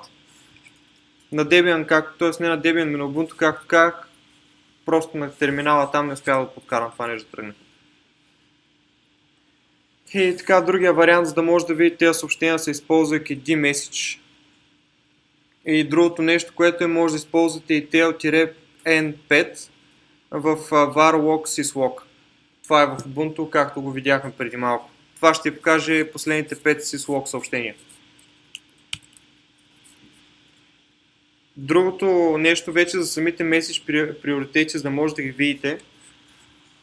Това става като просто отворите един файл, който се намира user source linux headers uname-r input. Това е малко на схема аз се намира. Аз дай си го копирам. Добре, нещо ме нахейти.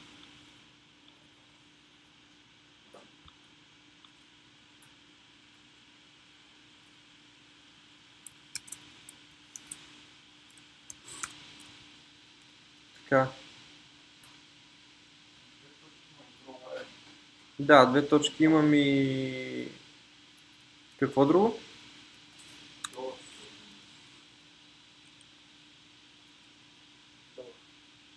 А, да.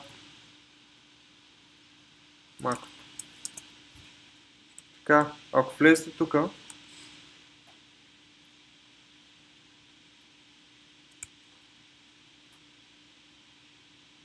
uname-r. Добре, това би трябвало трябва все пак какъв... как се майтап сме.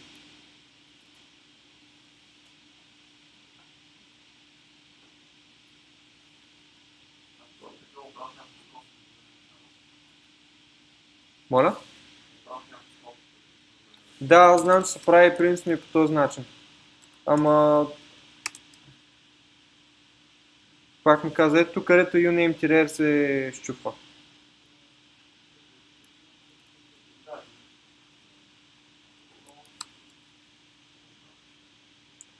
А, знаете ли, що може да се получава?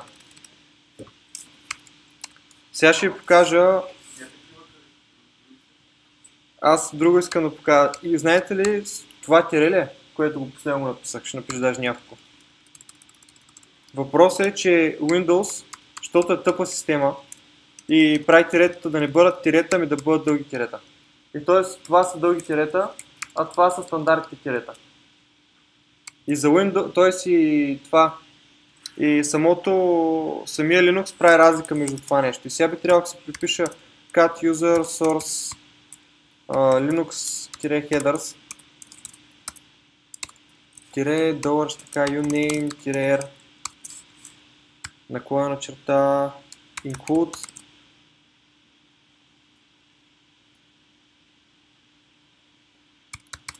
linux kern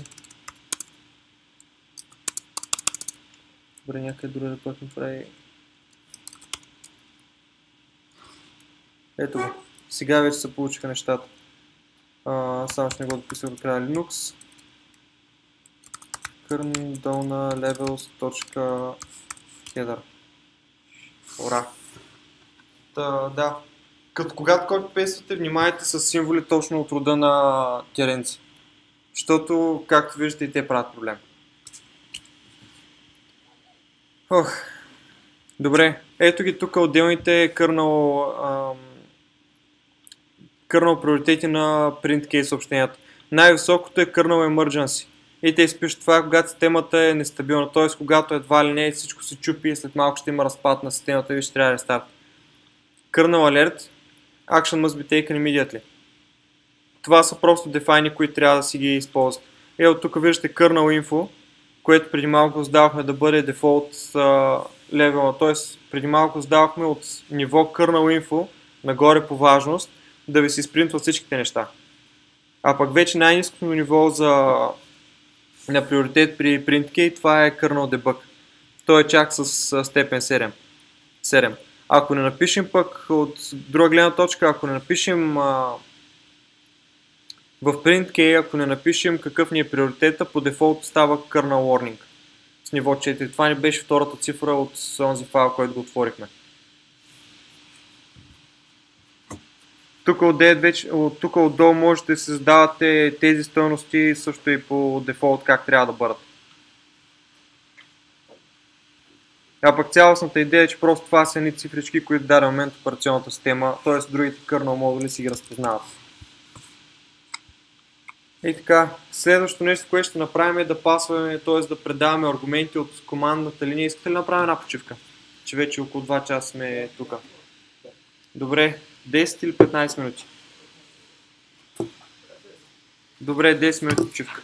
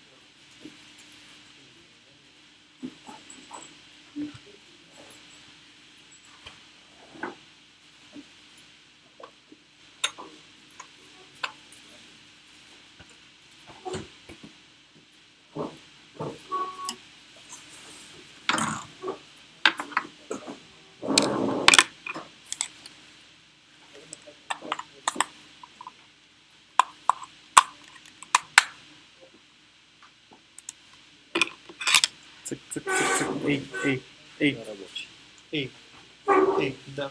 Ей, волюма като му е вероятно няма да работи. Ей, ей, ей, ей, ей, ей. Добре. Най-сетне това микрофон. Цък, цък, цък. Да?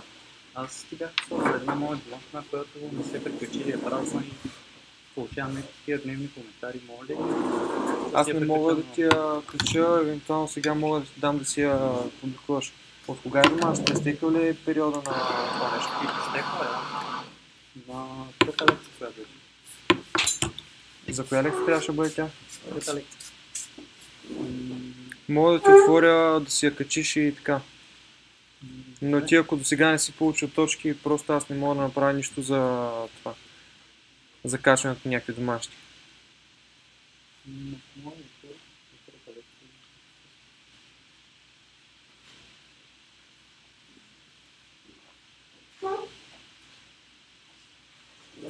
Така, значи тя е от компилирана и инсталирана пакети, нали така?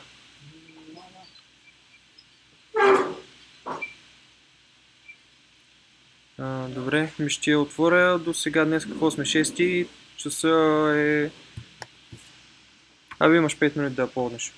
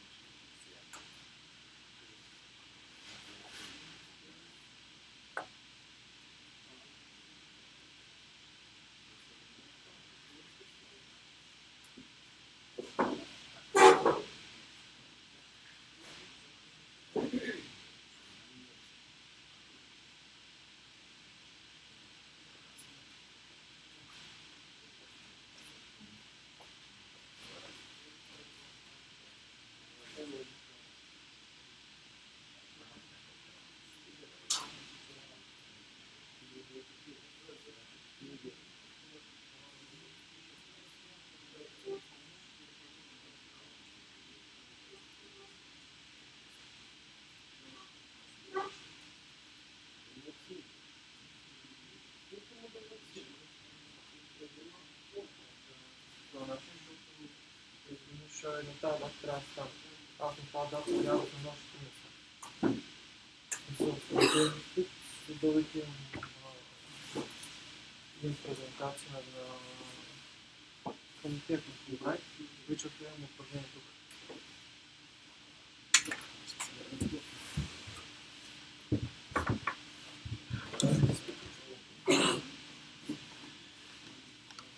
Цък, цък, ей.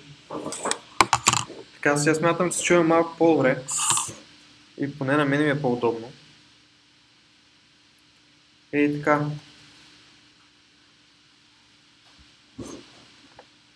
Добре, продължаваме към следващото нещо и това е как да предаваме аргументи към, а, към kernel модули при стартирането им. Така, може да се върнем някъде, примерно този файл, който го правихме малко преди това. Който при мен беше в 06 да начерта Linux. Тоест това, което беше първото нещо. Make clean се напише във всеки случай. И се влизам с nano kernel module .c. Така, горе си дефинираме една най-стандартна променлива от тип integer. int ще не мога да го направя, ще го направя обаче е така ще равно на 0, примерно. Следващото нещо, което трябва да направя е да инициализирам променливата, така че да може да бъде редактирано от command line. Това нещо става с модул, долна черта param, името на променливата или на аргумента, как се казва, типа, нейния и последния символ, който случай е 0, това е достъпа до нея. Т.е. какви юзери, какви процеси и така нататък имат право да задават или пък да четат даден параметър.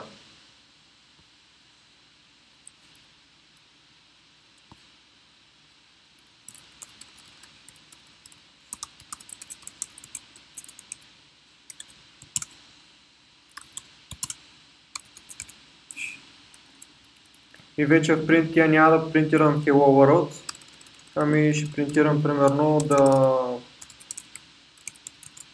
парам, парам да параметър, може би по-добре, равно на процент D. Но вред след това пиша класическото запетайка, ще.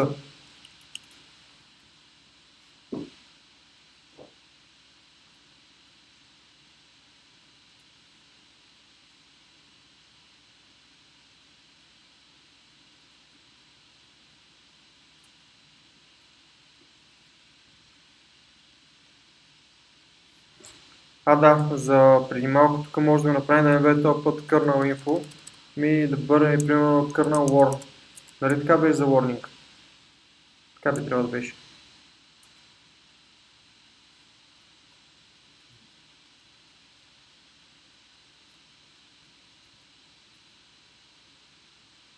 Всъщност нещата, които трябва да се добавят са просто да го правите този print key и тези двата реда отгоре, за да може да подкараме първия да покараме този пример.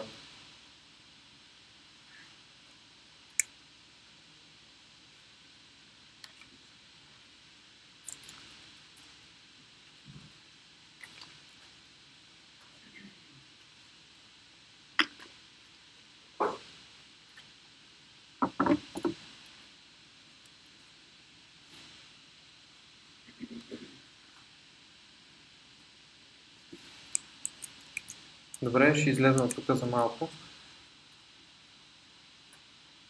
Само, че. А, трябваше му напиша kernel alert. Обаче не kernel warn.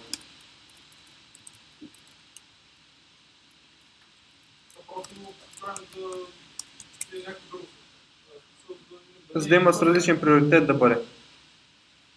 Това ми е целта, за да може да излезе с различен цвят съответно и да видим дали има разлика.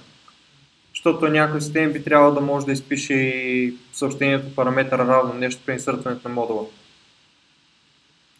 Така, сейфвам го това нещо. Някой пише ли още? Добре, чакам още няколко секунди.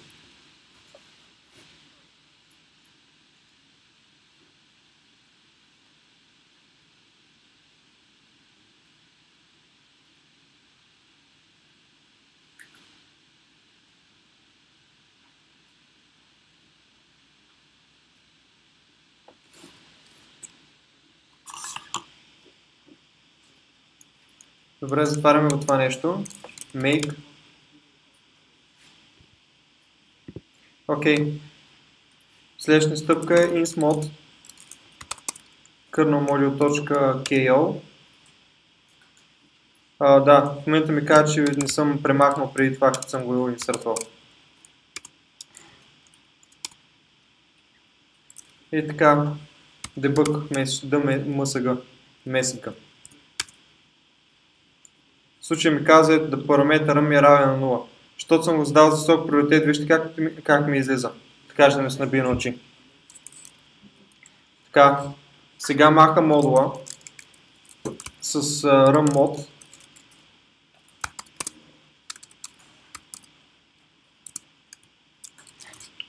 И виж сега как ще го стартира. insmod нещо си и шата, т.е. равно на 6 примерно. Стартирам го и му давам пак uh, debug message. И съм байнал параметра да им бъде равен на 6.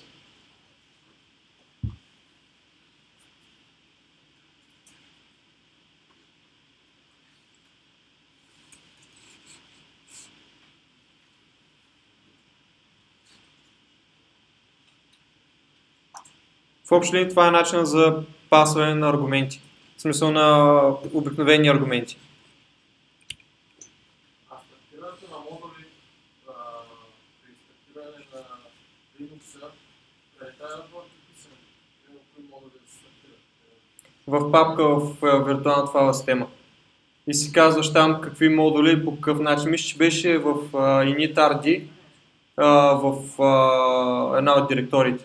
Ако искаш следващия път, като пусна почивка, ще го намерим къде е, защото не съм сигурен. И оттам вече, може, оттам вече автоматично се стартират кърнер модулите, които са нужни в началото.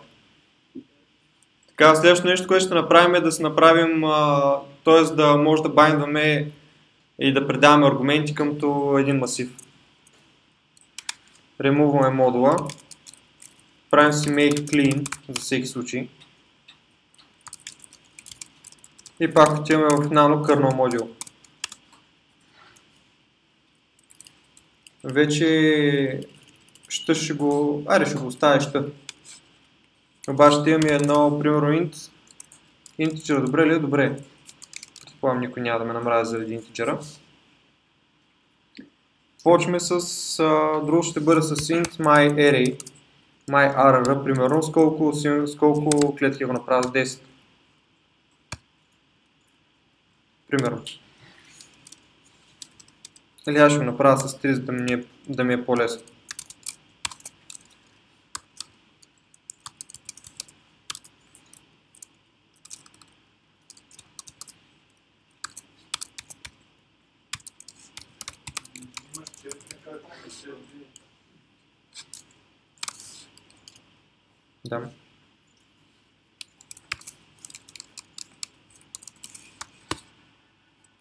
Използвам модул парамери по, по почти същия начин. А, дай друго нещо, което трябва да направим е да използваме int count, което ще ми съдържа а, броя на това нещо. А, count ще ми съдържа броя на аргументите, които съм дал. Така, модул param array. Първо му казвам кой ми е area, т.е. myR. Следващото нещо, което му подавам като параметър е какъв тип са нещата. Третото нещо, което му давам с end а, account. И четвъртото нещо пак ми е пермишните какви са ми.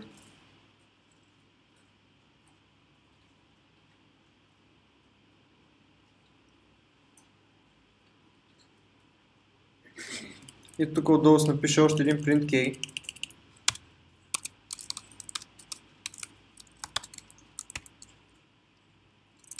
Даже няма да бъде само print ми ще ми бъде цял цикъл. int i равно int i. Отдолу почвам един for int, т.е. i равно 0 и по-малко от count и плюс плюс.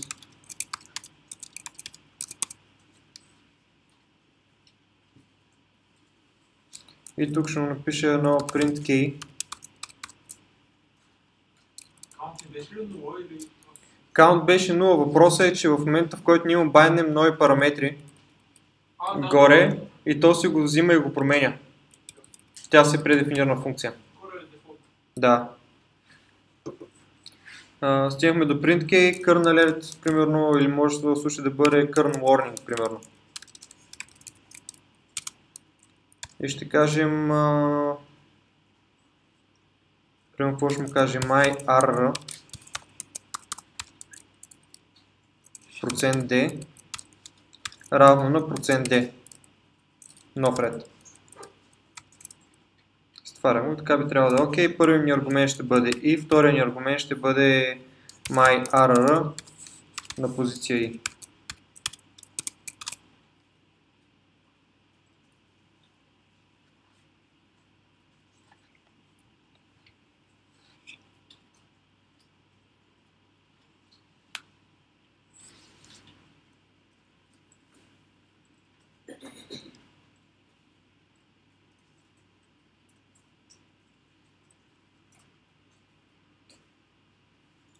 Добре, компилираме ли го това? Да чакам още малко?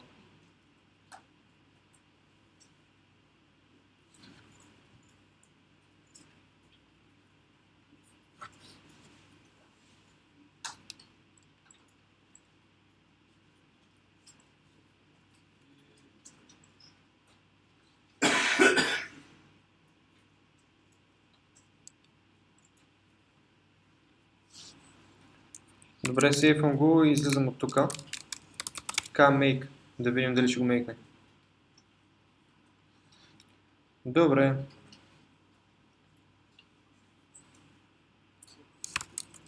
insmod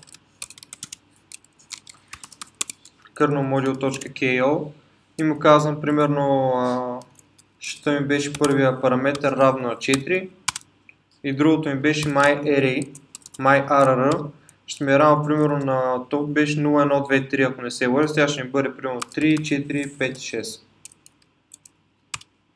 И сега като му кажа dmask, ето как ми го задават. Да параметър равно на 4, my area едното ми е 3, 4, 5, 6.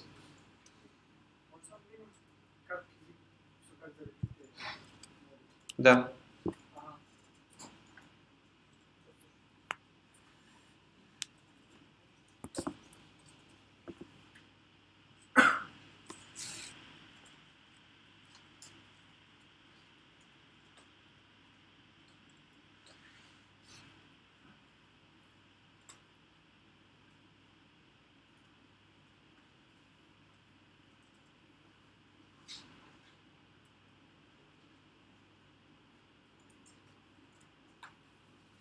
Да?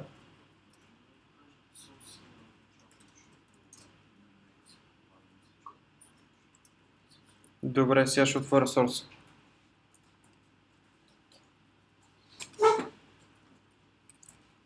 Имам int равно 0, модул параметър, както беше преди това. След това имам int myArray с 4 клетки равно 0, 1, 2, 3, 4. int count равно 0 и след това имам модул param array myArray, запетайка int, защото е такъв тип, запетайка end знака или ampersand, count, запетайка 0.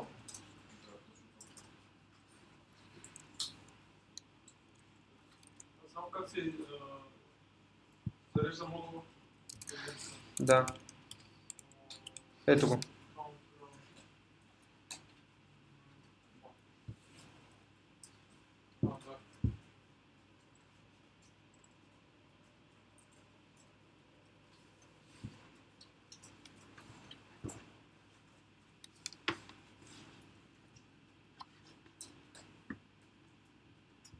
Да точно кажа.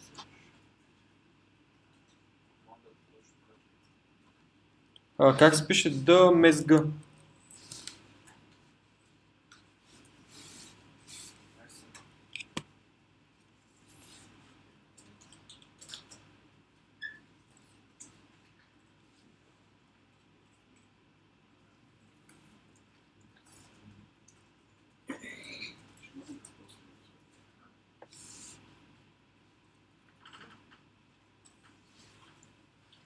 Добре. На колко, на колко им се получиха това? Въпроси имате ли някакви? И какви проблеми срещате?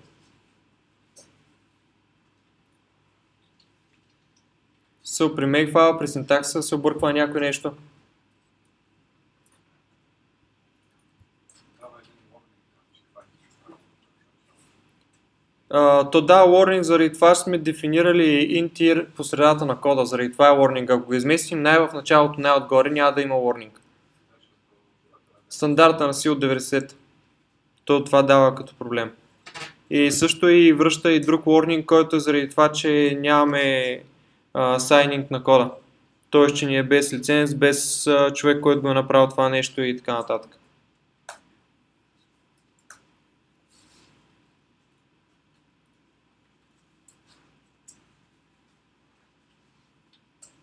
Добре, продължаваме ли нататък?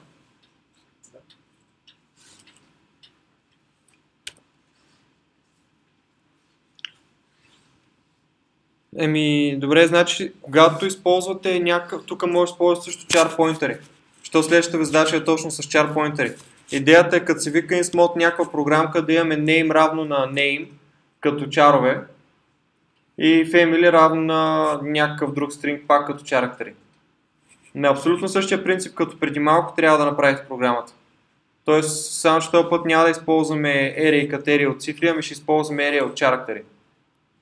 Ще се правите ли може да използвате също и printk и %s, за да може да изпринте цялата информация от даден поинтър. Колко смяташ, може да справя с това нещо? Добре, аз ще мина пак покрай останалите в рамките на... Еми имате до 20 часа и 45 минути, т.е. 10 минути имате.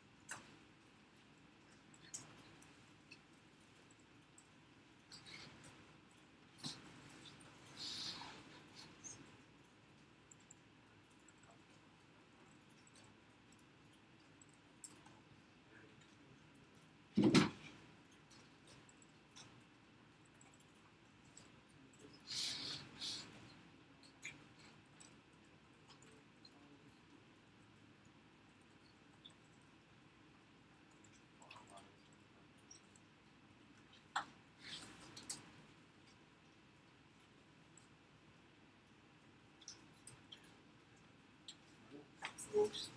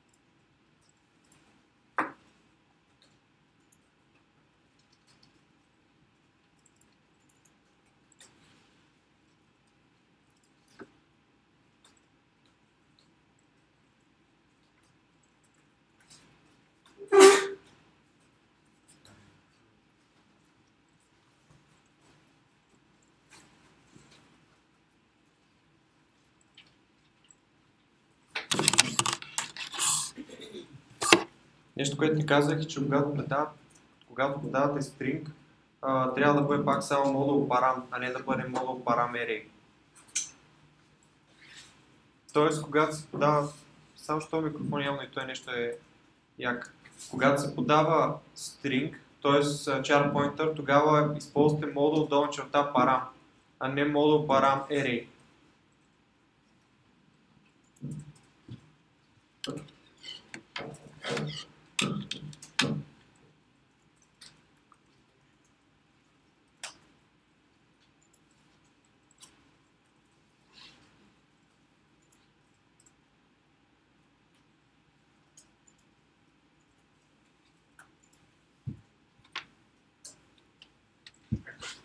Чар ли да му даваме само или чар звезда? P, char. От char pointer трябва да бъде p, като тип.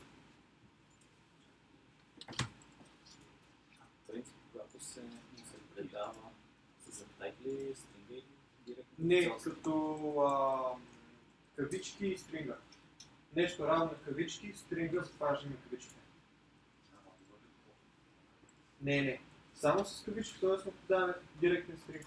Примерно параметъра парам равно на ако отваряме кавички, пишем си целият стринг, затваряме кавички.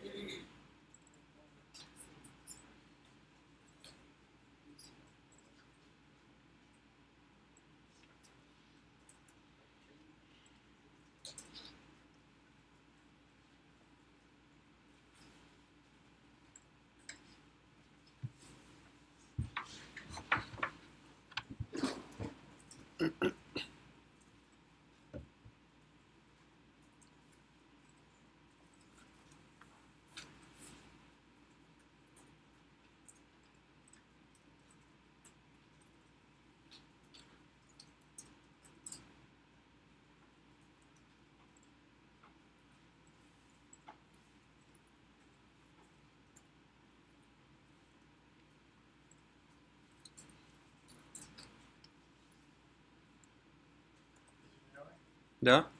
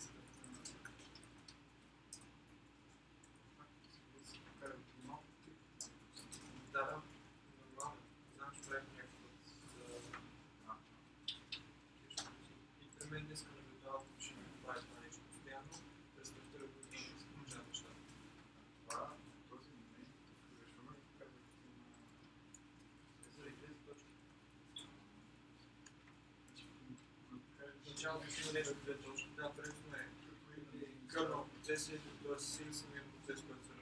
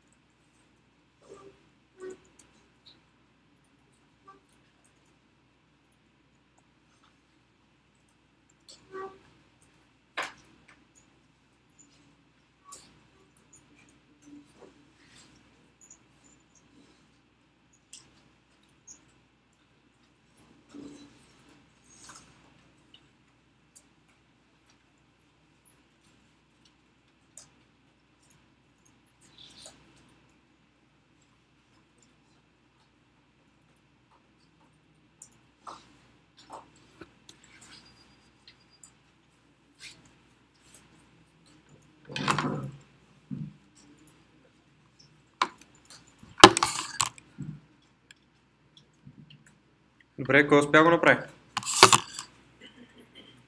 Сега ще видим дали аз успея.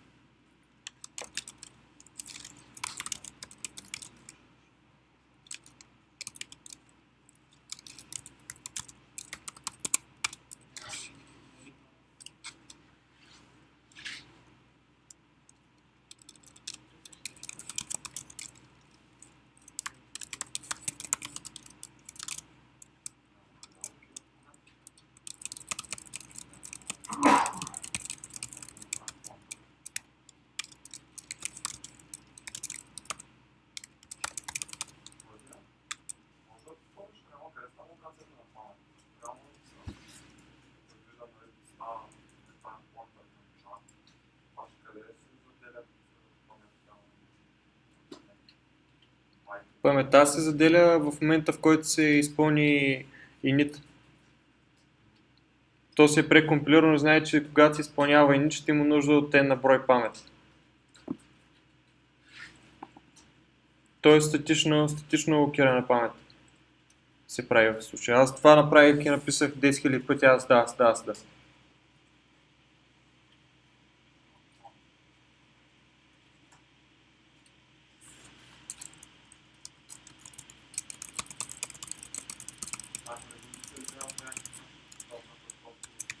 Ами аз малко ще го пробвам да го инициирам, т.е. дали може да се използват някакви функции за допълнително заделена памет.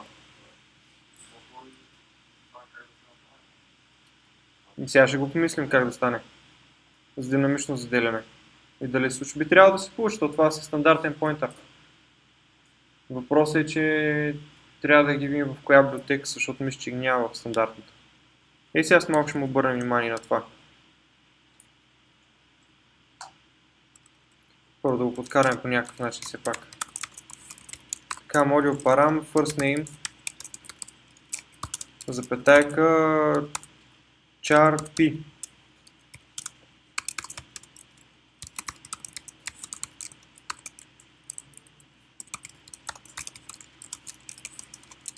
char pointer.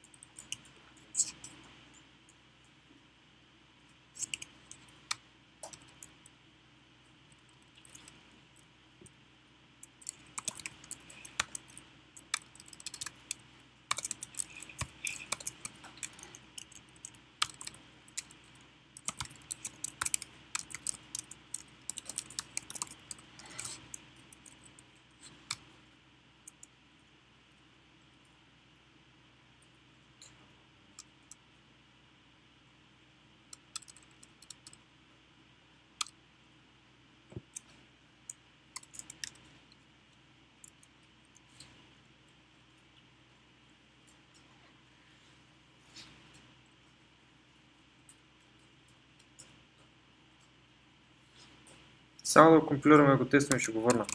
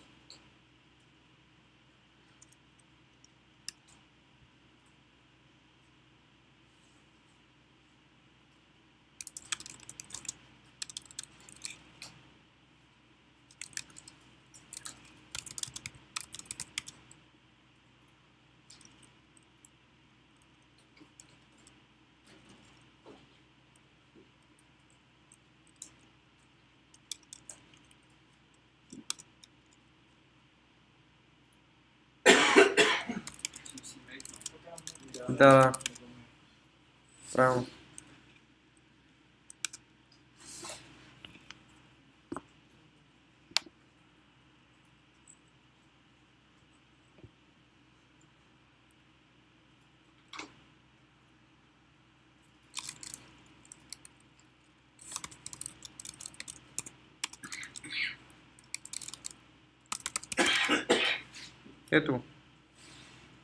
Ето го. При малко не знам, защо не се бях показали. Да, защото аз два пъти го пуснах. Преди това явно не го е било изпринтил, защото е било фронтайм. Добре, сега ще отворя пак Source. Всъщност ще изпробвам в Source. Да видим, ако не му задам точната големина, би трябвало да ги скипне останалите неща.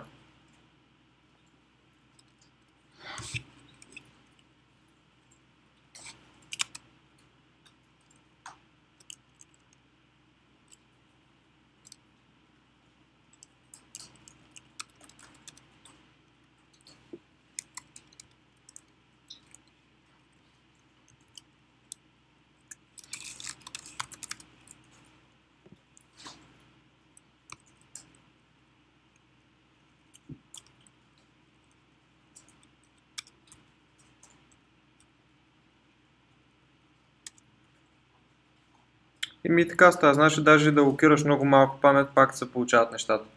Тоест трябва да локираш само дефолт нещата. Би трябвало да стане и с празен стринг, да. То всъщност наистина е логично, защото ти като пишеш съобщението и като го изпратиш, то самото съобщение влиза в някаква част от паметта и поинтера просто трябва да почне да сочи към тази част на паметта.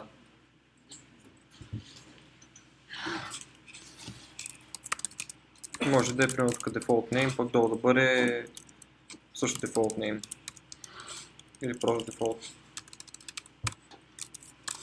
Така.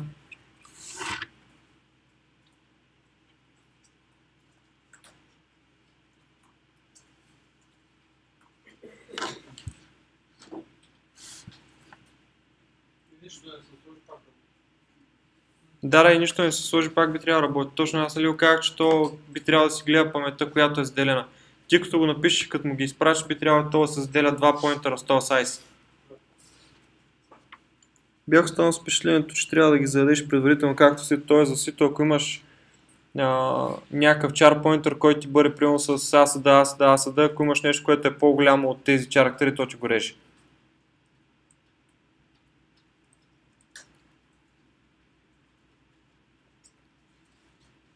Така, мога ли да продължавам?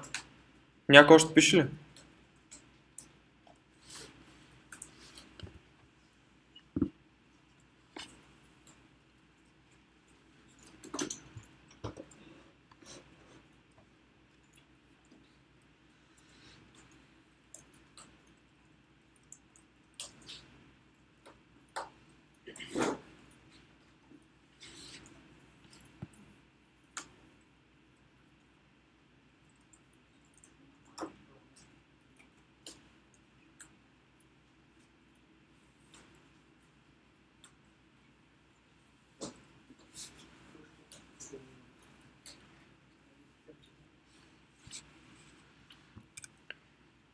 Добре, и вече с времето, когато почне да се разработват модули, за да може да имате информация в mod.info, трябва да добавите предефинирани, примерно на модул license, просто добавяте своя лиценз в кавички, примерно повече случаи ще бъде GPL. Дайте направо ще го правим това нещо. Module долна черта license. GPL това е най, един от най-масовите General Public License. След това модул Author.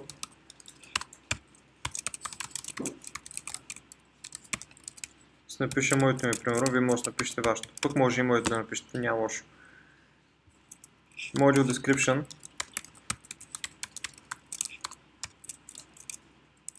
Useless. Модул.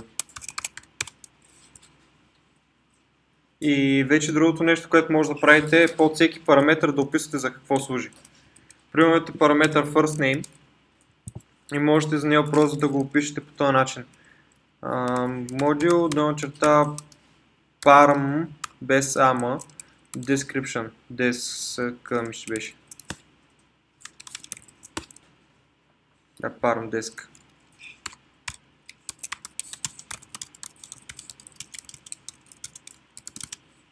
Primary first name parameter is used for uh, something and is string. Само, че първо трябваше да добавя името на параметъра. Отпреди.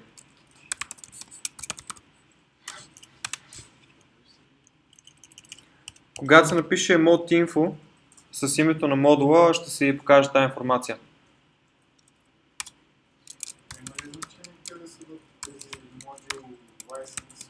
Не. При тях няма модул параметрите, обаче трябва да бъдат под самите параметри, т.е. някъде под тях. Първо трябва да дефинира параметъра.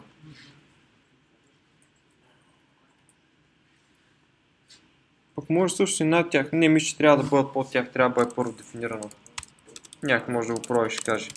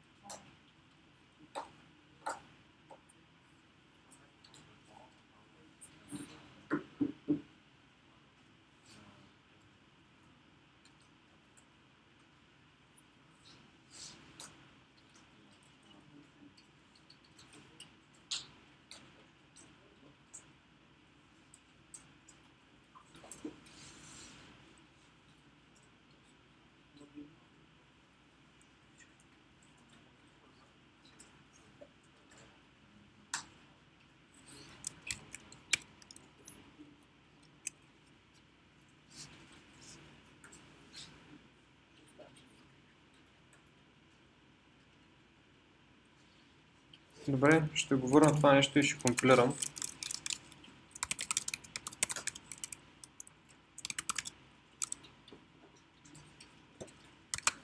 И съответно сега ще му кажа mod info и името на модула kernel module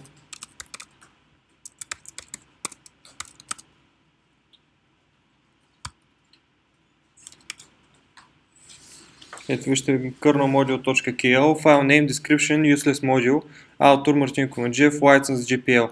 И отдолу виждате ли парам, ща, integer. Парам uh, first name и си казва параметър is used for something and is string. Следващия параметър е family name, параметър is used for other thing and is a string. И то се казва char накрая, пък че е char pointer.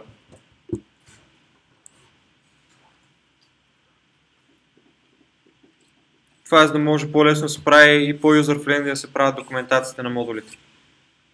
Има ли нужда да върна сорса един път? Още.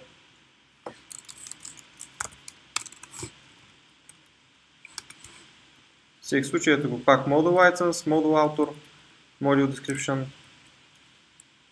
параметър Description и още един параметър Description. Да, char, това е char pointer.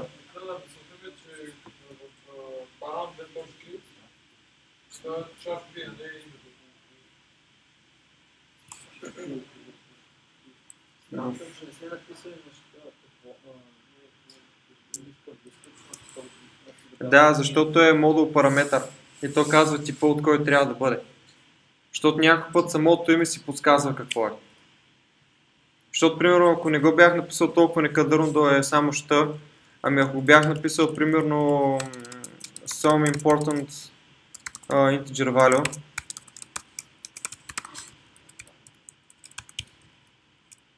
И от тук го напиш пак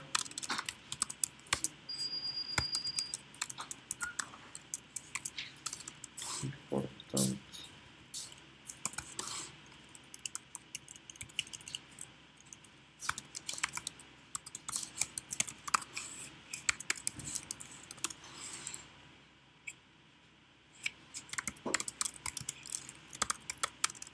Сега ще има отваряме mod info.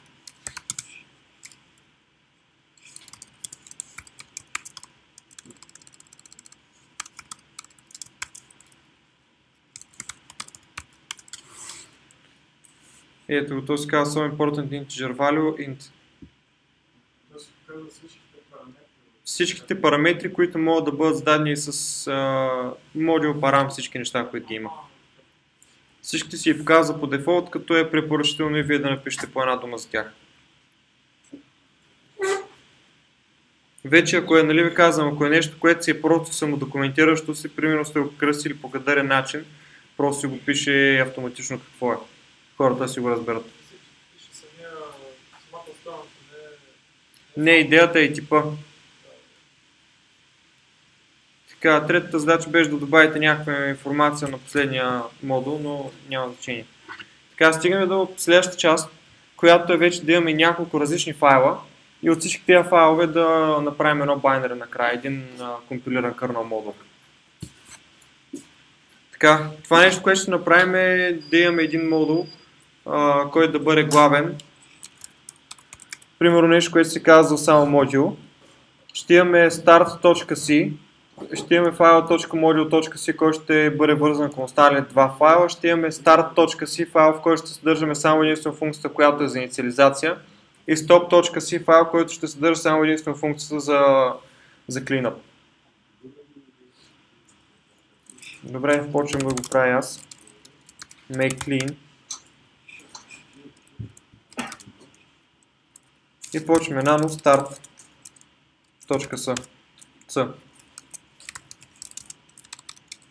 Точка с. С. Include.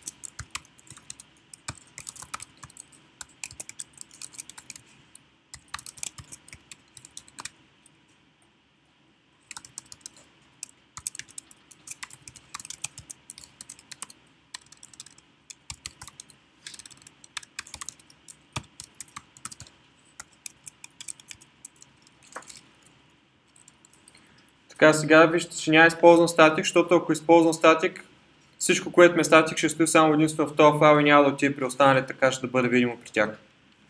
Тук ще използвам само единствено int.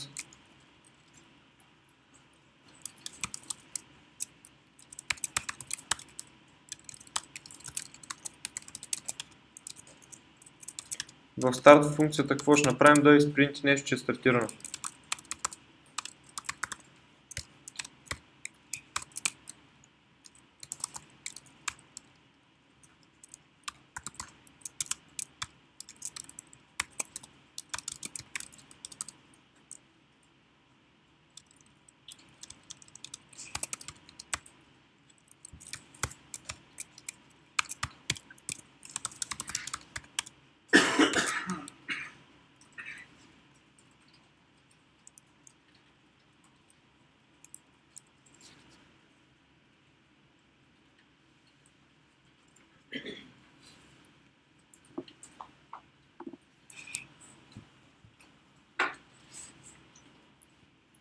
Така.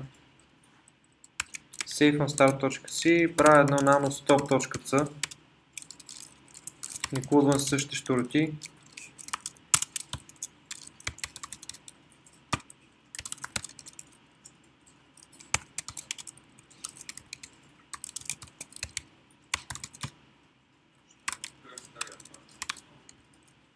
Моля? Вариант беше, но късно. За три реда няма смисъл, може би, толкова много. Ще ми отнеме повече време да три, отколкото да ги напиша наймата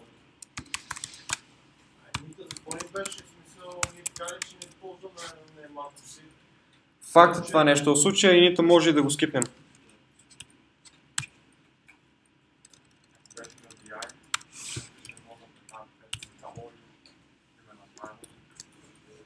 На. Ако беше на V или на Vim, да, но аз не харесвам пък Vim, заради това, че като натиснеш Tab и ти прави 5 спейса.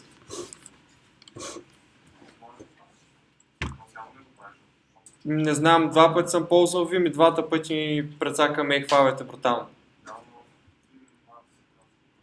В Vim, да, защото Vim не съм използвал, само Vim.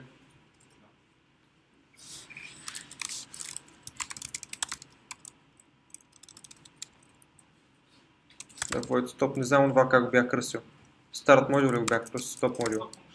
Stop function, добре.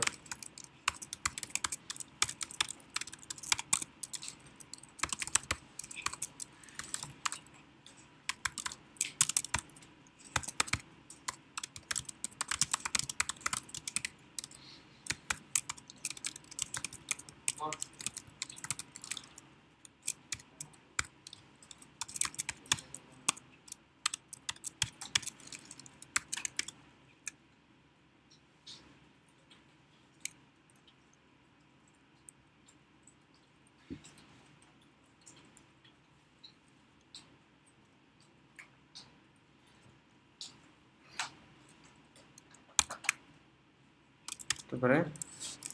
И сега отивам в kernel module.c. Всъщност това kernel module.c ще го направя на kernel module.c.back. И сега с малко ще видите защо.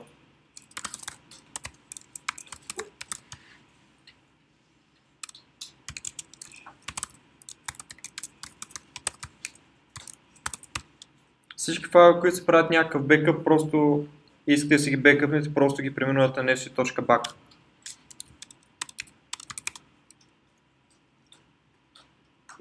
И това всъщност сега, което ще направим, ще бъде да напишем nano, модул ще бъде top.c. Include на всичките неща.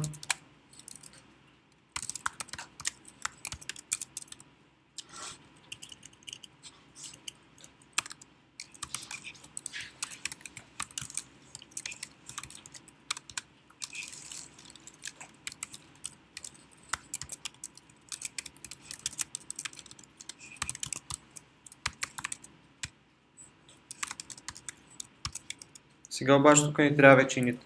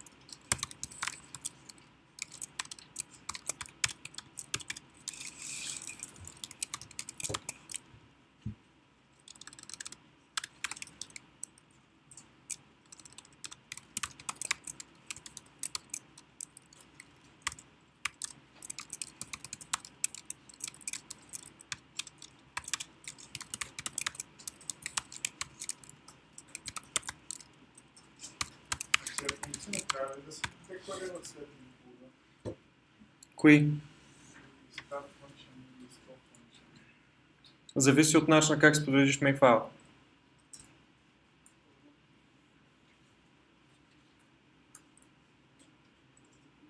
Пък може и да трябваше. Сега ще го видим.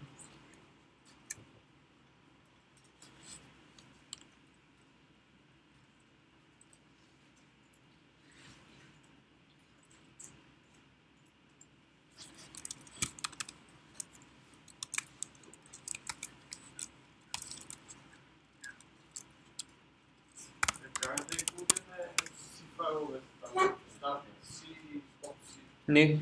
Всичко става в а, това нещо. Всичко става в make файл.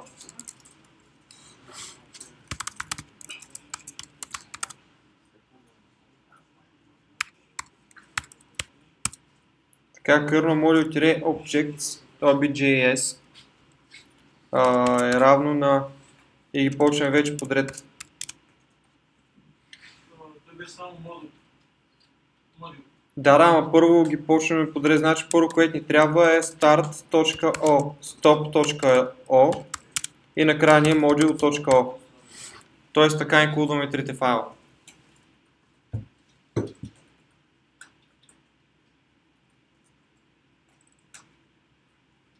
Чайте го билно да не ви казвам нещо, което не е така. На всеки случай сега ще го върна. Добре, върнем и... Да, за start function и за това нещо ми се скара, че не съм ги декларирал отгоре. Правилен беше ноут.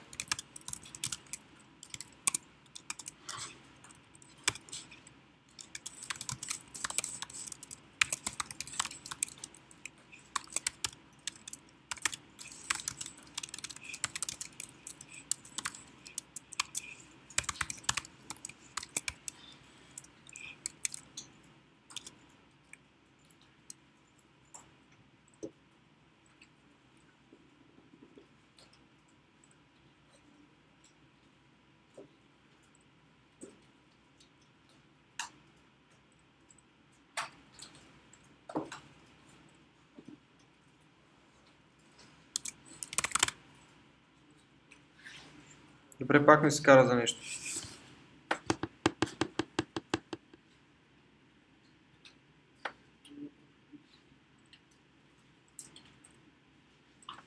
Това е в модул C5.1 и 6.1.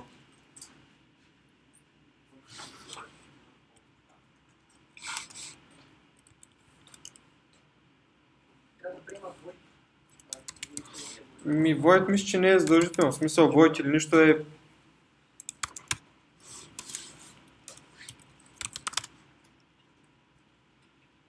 Окей, това ми е било проблема наистина, че съм написал на едното място Void, а на другото не. И така, добре, от кой файл? Start.c ясен ли какво трябва да съдържа?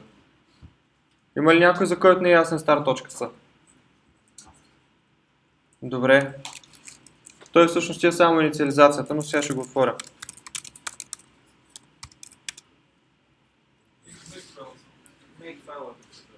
Да, и сега ще, го, ще ги пусна всичките един след друг. Видя ли го? Добре. Сега nanostop.c Пак е само единствено един print key. Нищо друго няма. Добре.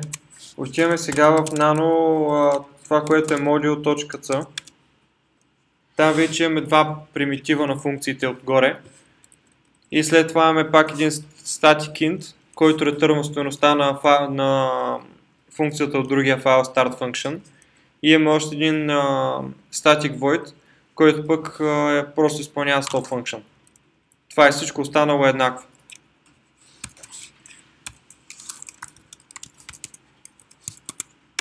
Nano make файл. Тук имаме object-m kernel долна черта module.o, както си е стандартното. Обаче след това имаме kernel долна черта module, т.е. всичко преди ото, тире objects. И тук имаме две точки равно. Всъщност той само равно да напишем пак би трябвало да е окей. Okay. Но две точки равно start.o, stop.o, module.o. Тоест трите файла, от които се генерира накрая един общ kernel module.ko.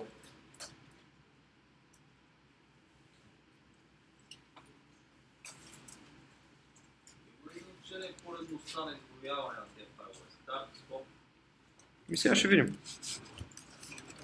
За мен днес имаш. Като ги правих, защото се тормозих по хиляда различни начина, докато се усети, че имам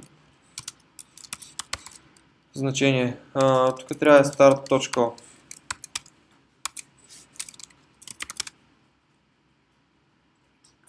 Днеска не бях направил пак примитиви, мисля. И заради това имах проблеми и когато бяха под определена конфигурация работеше, когато сменя местата не работеше. В случая да, в случая няма. Може да си ги сложите както, си, както ви харесва. Но ако има направени примитиви в главния файл. Да.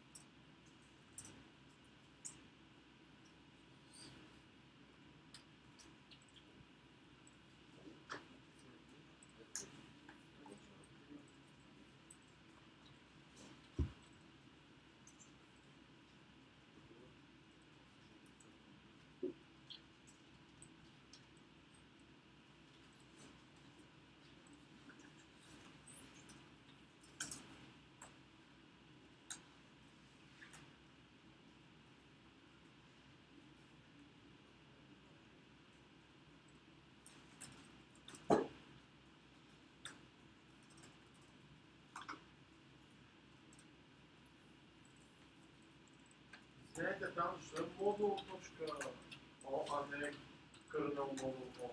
Защото аз преименувах главния файл на module.o. Нали заради това направих module.o да бъде, т.е. module.c да не бъде module.c, ами да бъде module.c.back. Сега ще пусна един ls. А, също първо ще пусна един make clean, да не се... Ето виж, kernel module.c.back този преди малко той не влиза, защото го разкарах, все едно да не се използва от make файла. Module.c, start C и stop. Тогава защото това ми е изходния крайния файл, който трябва да го имам. Тоест това ми е целта и заради това след това казвам кои са му другите object файлове, които ще използва за да генерира крайния файл. Make файл ли пак да отворя? Или? Колко го разбраха това нещо? Добре. Nano Make.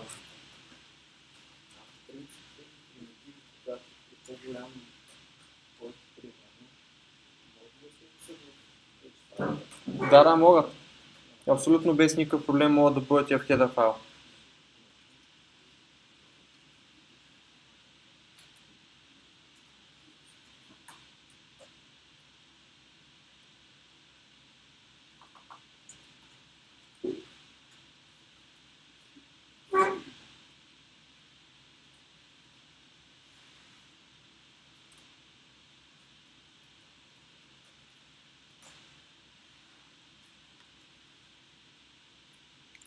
Добре. Връщам в това. А, компилирахме го преди. Ма сега ще трябва пак да го мейкна, защото го разкарах.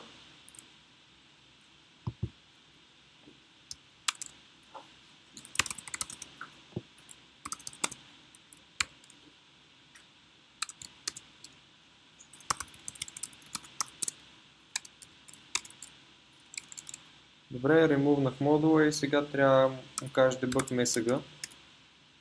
Ето hello, hello from the other side. Следователно би трябвало да работи.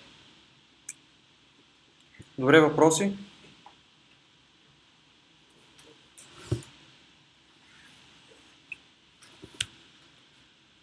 Ето тук вече в а, малко по-надълбоко как работят нещата. Ето имаме InSmode инициализираща функция и вече има разни други функции, които се викат и могат да бъдат дефинирани. Примерно бълъка init Q може да се дефинира и да се даде някакво Q от операции, които трябва да се правят add диск.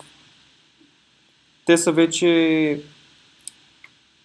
Хубаво е да прегледат диаграмата, но ще има доста писане, много доста писане на код, с който да се напише, за да може да се влезе по-надълбоко. Принципно за писане на кърнал модули може да направи цял курс само за това нещо, което да трае един месец. Така че смятам, че това, което го направихме днес, поне като основа, да се видят как горе-долу минават фловете на нещата е горе-долу окей okay, достатъчно. Самия начин на работа между kernel модулите и между user space към kernel модулите, това нещо става с използването на system calls. Системни обаждания, system call И примерно ако имате някаква програма, която се казва Hello World, примерно сте написали просто да казва Hello World и напишете uh, strace точка наклона на Hello World, тогава ще ви покажа всичките системни колове, които се правят към кърнала.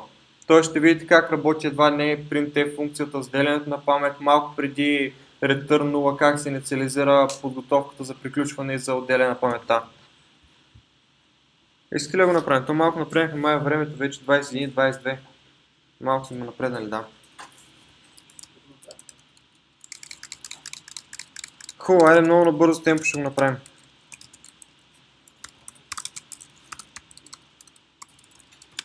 Make dir hello cd hello.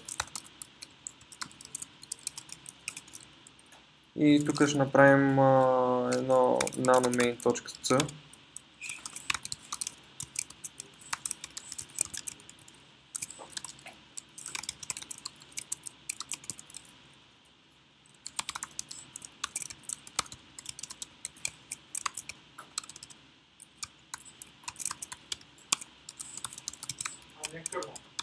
Това не е кърнал, това е стандартна си програма, която правим. Смятам, че и сами ще трябва да се напишете.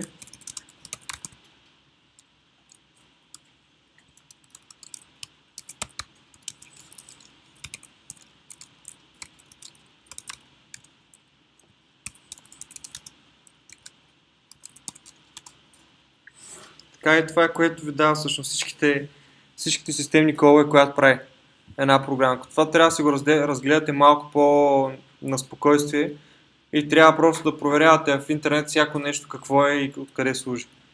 Е, тук имаме Access, etc, ld.so preload. Това би трябвало да ви е за, за локиране на кеш памет. Тоест на памет и на кеш памет след това. ESTA64 вижда колко свободна памет има в момента. EMAP ви прави memory map така че да може да се разположите програмата някъде да ви се разположи на точно определени адреси, примерно от адрес 16 до адрес 18 ви върви програмата. Access Open, Read, всички тези неща, ето ви се разполагат на програмата. Ето, където е Hello World, би трябвало да се намира в е точно този Read. Read 3, ей си какво нещо от памета. Ако не се лъжа, мисля, че е тук. А, не, ето го всъщност. Right Hello World. Той е по-към края. И ето тук Exit Group 0. Exit with 0.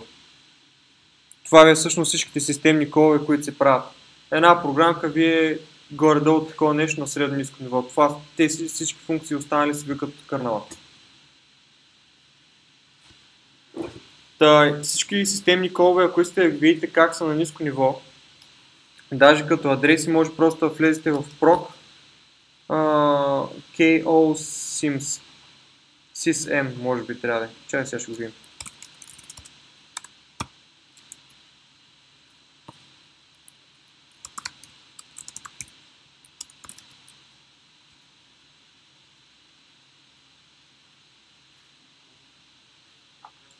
KO Sims, да.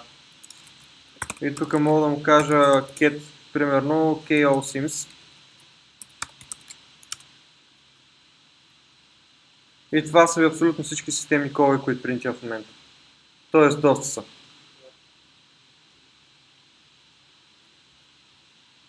Ето виждате на всеки един от кърнал модулите, които е зареден. Ето в момента това е на floppy кърнал модула, който е заре- зареден.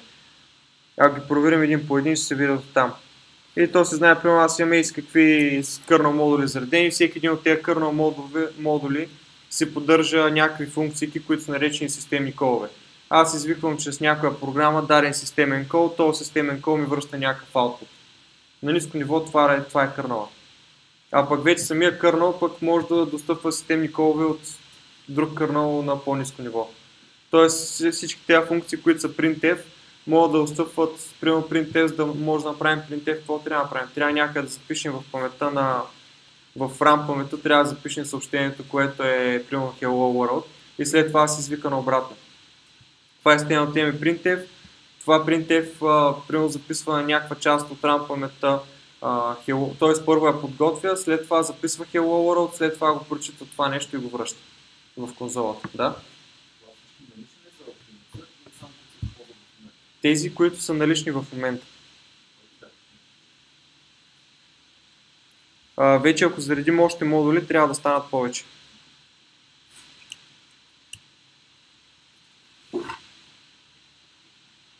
И вече има и другото нещо, което се нарича namespace. Когато се пишат kernel модули, понеже преди малко не знам дали чухте като казвах, а, ние пишем някакъв kernel модул. Този kernel модул той се свързва с други модули, които могат да бъдат на по-низко ниво. Т.е. получава с някакво dependency, някакво дърво. И е възможно, примерно, ако имам дефиниране на една функция на едното място, е както имах преди малко три файла. Представете си в три файла да дефинирам една и съща функция на едно и също име. Какво ще кажеш? Ще кажеш какво прави човек? В смисъл, откъде ти извикам тази функция? Има на три места. За да не се получава това нещо, това принципно се нарича namespace pollution. Т.е. когато се използват еднакви имена на три различни места. Има единия вариант. Първия вариант е да се чекне кои думи са забранени в proc KO sims. Това може да го направите като напишете um, cat uh, KO sims grep примерно printf. Да видим дали го има printf. Ето тук намерих хиляда места, където има printf. Като се пиша кода, единия вариант е просто да проверявам дали някъде няма printf. Ето имам sprintf примерно. Което е по-важно. И аз знам, че ако предефинирам тази функция в някой файл, има огромен шанс да имам някакъв проблем. И това е единия вариант. Другия вариант е просто да използвате статик. Когато се правите статик функции, тези функции се изпълняват от файла, който сте ги написали там, да бъдат статични. И не се пипат функциите от другите файлове. Тоест статичните функции се виждат само единствено в файла, в който сте ги написали.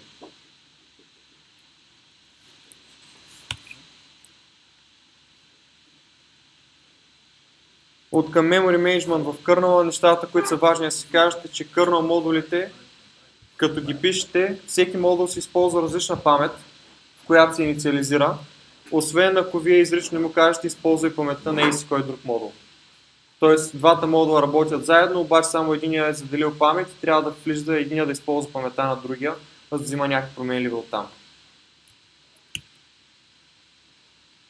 От към Device Drivers, директорията, в която се намират устройствата, принципно в Linux, в която ги има, всички, ги има изписани всички устройства, това е slash dev.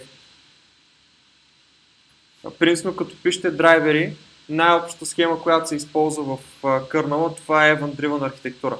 Тоест, вие пускате някакъв, някакъв кърнал модул и той се стои долу. Вече, когато вкарате дадено устройство, си вика системен кол, който използва даденото устройство, а пък този системен кол вика кърнал функция, т.е. кърнал модул. И то кърнал модул вече му обработва, а, обработва самия евент. Другото нещо е, че при устройството има major и minor number. Като, примерно, може да отидем в uh, cd-dev. Тук са 1000 устройства. Добре, CD CPU, примерно. Не, тук няма работа. Както да е. ls-l. Е, виждате ли как има устройства, които са 10 запетаях 175. Примерно това е на нещо, което е AGP GART. Днес нямам идея какво е това. Това е Major Number е Device Type, Minor Number е номер на устройството. Тоест, ако имаме устройство от много еднакви типове, при тях се асайнва един и същи номер, който е главния major number. И вече номера самия като идентификатор на устройството идва като minor number. Тези неща се сетват, като се пише драйвер за дадено устройство, се, се сетват в а, самия файл като макота. Той изпълнява се една функция, мисля, че беше major, до, major n или number major, нещо от този род. И в скобичките на това мако му казваме, ще бъдеш примерно с такъв major number.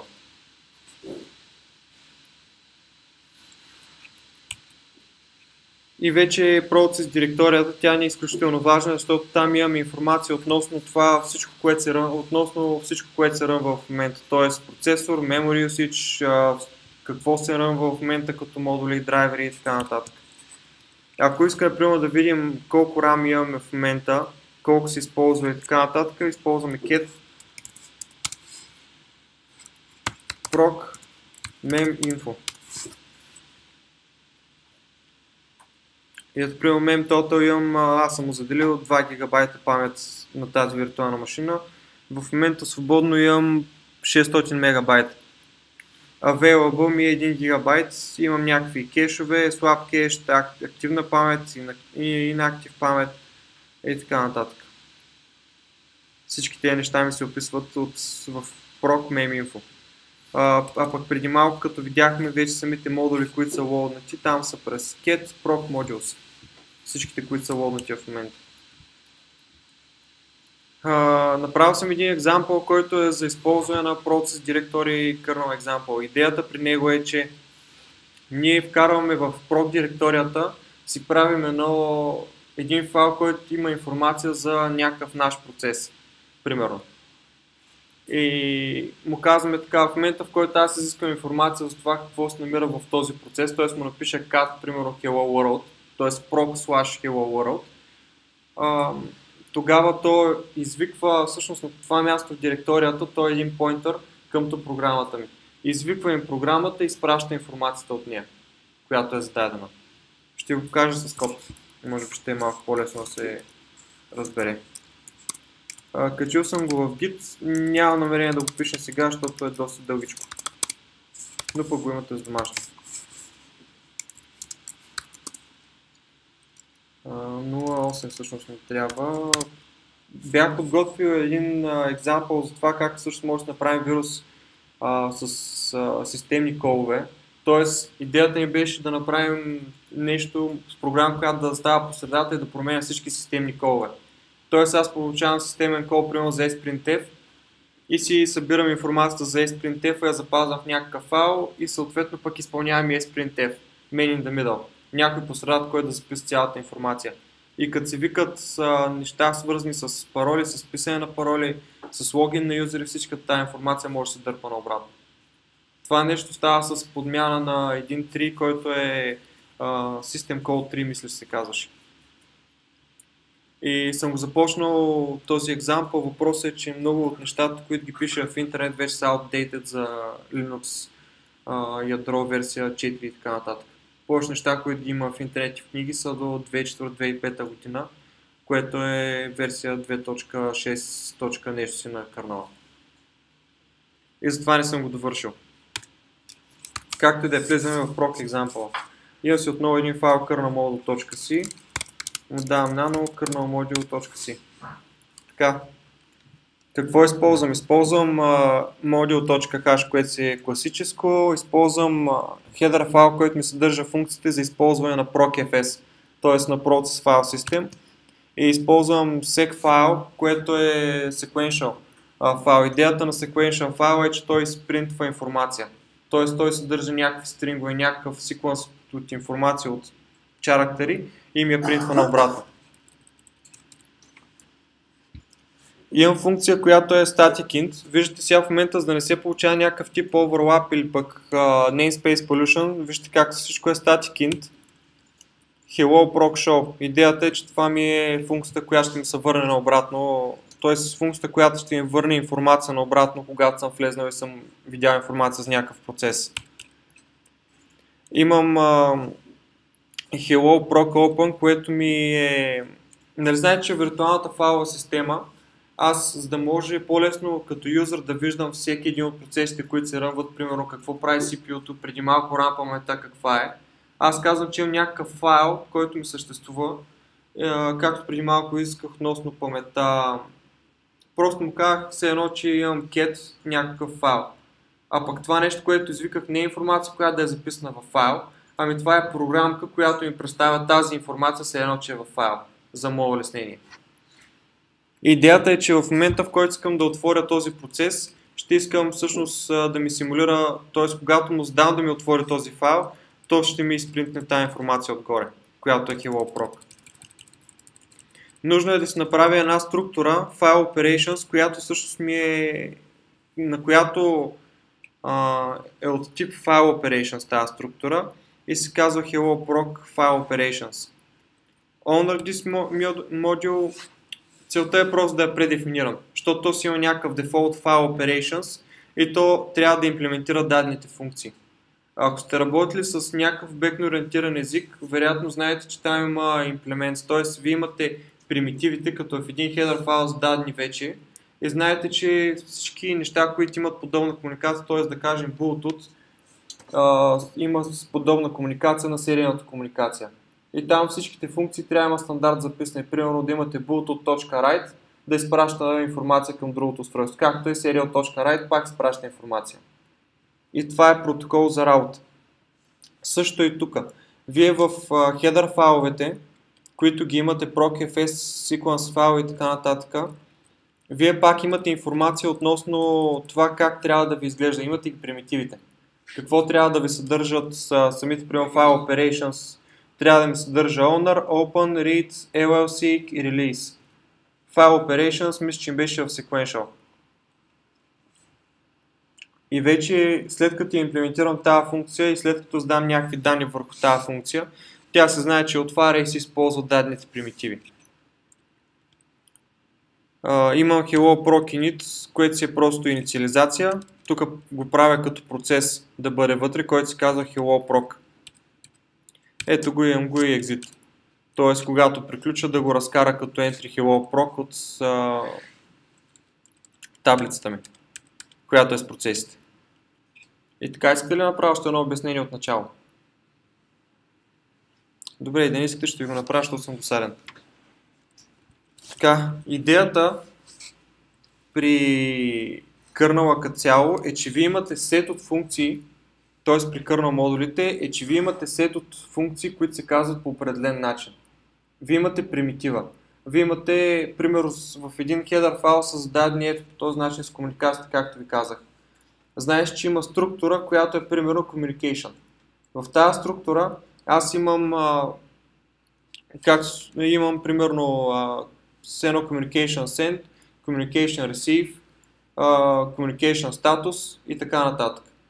Когато предефинирам тази структура, аз мога да започна с static, константа структура, communication и след това напиша Bluetooth, както е в този случай. Ето тук. Това ще бъде все едно Bluetooth. И аз му кажа, примерно, точка uh, write да им бъде равен някакъв поинтер. Тоест, когато аз изпратя поинтер към, да им, т.е. като напиша bluetooth.write ми е равен някакъв поинтер, това означава, че тази функция ще бъде имплементирана по такъв начин, че аз да изпращам чарактера или пък стринга, който е на този поинтер по Bluetooth комуникацията. Ще имам примерно bluetooth.receive, което пък ще ми връща от това какъв чарактер съм получил в момента. Ще имам bluetooth.status, което пък ще ми означава какъв ми е в момент, дали съм свързан, дали не съм свързан, дали ми е пуснат бултата и така нататък. Тоест, когато вие искате да напишете някакъв кърнал модул, вие не стоите, не почвате да си блъскате главата какво да правя в момента или пък да пишете някакви свръхвелики файлове, отваряте файловете, които са ви издадени тук, т.е. хедерите, библиотеките. И наблюдавате в тях по какъв начин са инициализирани примитивите. И използвате функциите, които са вкарани в тези файлове. Това е като делегатната структура при iOS, който е писан Objective-C в някаква кърнал функция се вика примерно bluetooth.send или пък communication.send и вие знаете, че тази функция в някакъв момент ще ви извика данни, които трябва да изпратите по тази комуникация. Вече вие си доимплементирате само частта с комуникацията. Това не знам колко успяха ме разберат поне малко. Това е едно от най-сложните неща, които са като цяло. Тоест, колко е часа?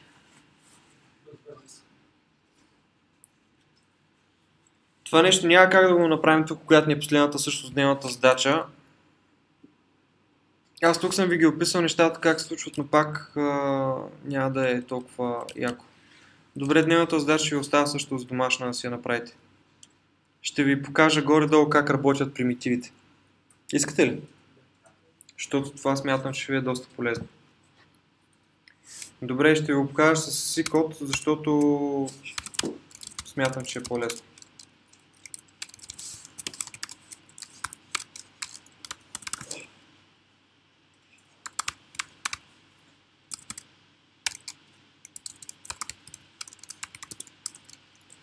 Добре, сега ще започна с а, един header файл, който ще ми се казва, примерно, както ви казах, communication .header.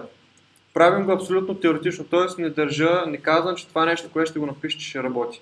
Просто го правя като структура, да може да се види горе-долу какво представлява. В него си имам някакъв include stdio.hash, примерно, в този header файл и ще имам някаква структура казва communication. Вече в тази структура аз трябва да имам, а, мога да му кажа един примерно char pointer, който ще бъде send data. Ще имам някакъв char pointer, който ще го запазвам. Communication. Тоест пишем communication. Мога да го задам с pointer. След това имам някакъв int main, примерно.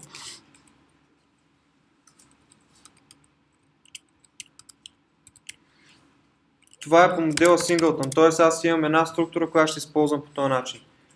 И сега, какво имам? Примерно имам Bluetooth. В някакъв момент ни се конектва Bluetooth устройство. И си го пиша Bluetooth uh, connected status uh, send down uh, data да ми приема примерно някакъв друг тип комуникация, която ще бъде серийна. Тя върви по абсолютно същия начин. Примерно правим nano си. Казвам, че това в момента не го правим да работи просто, например, да. Аз знаеш със сигурен, че ако трудно да го компилирам, няма никакъв шанс да го компилирам от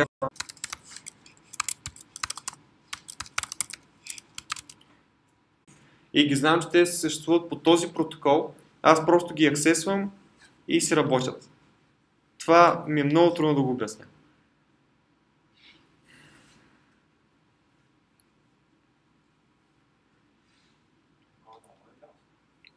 Е, за някой да, ама аз, аз сам като слушам се усещам, че не мога да го обясня както трябва.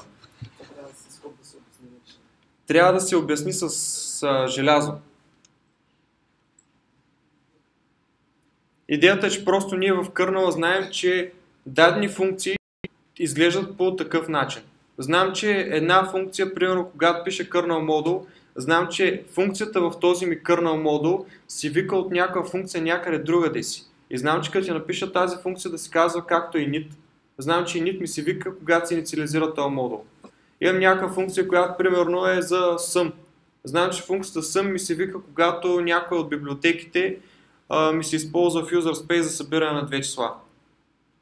Това е идеята. Просто има предефинирани функции, които са казани, окей, това име на функция си вика някъде си в namespace при някаква си ситуация вкарвате устройство флашка, тогава какво ви се вика? Вика ви се инициализация на USB-то, асайнване на адрес на тази флашка и след това кажеш, окей, ако тази флашка ми е от, т.е. ако това устройство, което е вкарано в момента е от си какъв си тип, извика ми функция, която аз съм писал, като драйвер.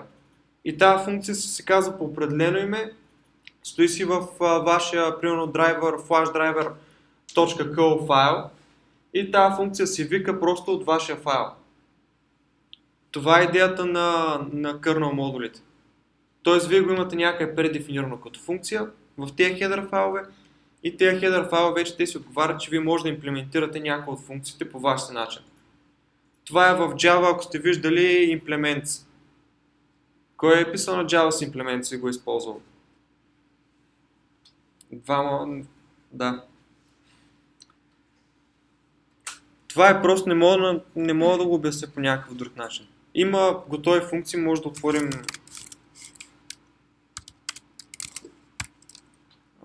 те бяха в а сега да значи в user source src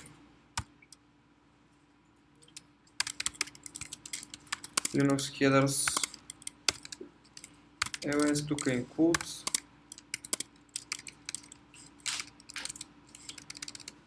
И тук вече CD и Linux, LS, т.е. тук вече сме на Nano.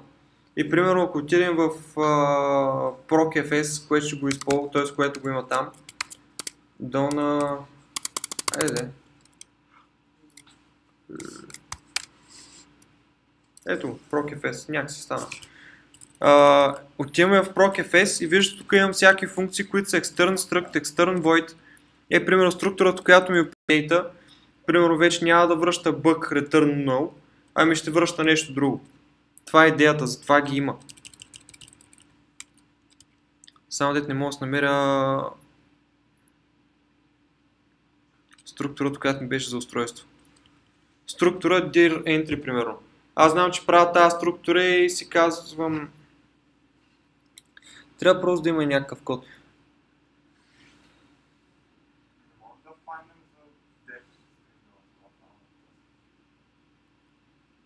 За кой файл? За оня от преди това? А, в смисъл да търся в самия файл това, което ми трябва ли?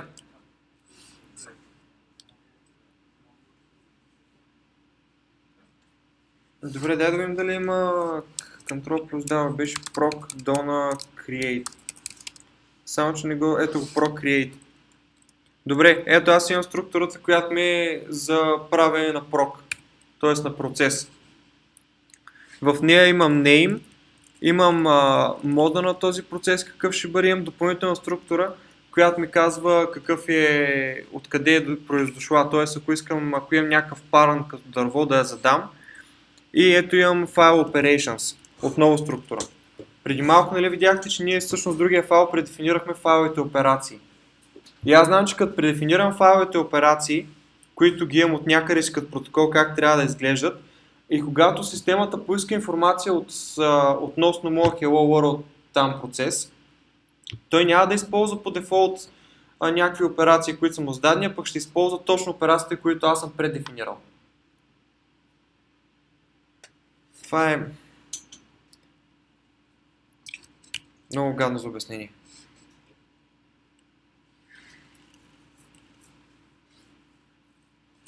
Да т.е. хедър файла, да се функция, за да мога да използваме предефинираната функция.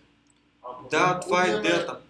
Ако не куднем хедър файла с предефинираната функция, използваме тази, която се. А, самите предефинирани функции, те са, те са просто примитиви. Т.е. по протокол се знае, че тази функция, която се казва по този начин, бива викана в определена ситуация. Това е идеята на протокола. Моля? Да, точно така. Добре, значи, вероятно половината няма да могат да виждат, съжалявам. Тук имаме някакъв кърнал. Имам някакво устройство едно, от което викам read. В смисъл, самия кърнал знае, че трябва да извика от даденото устройство функцията read. Тя се е зададена. Имаме някакво устройство 2, от което също викам read.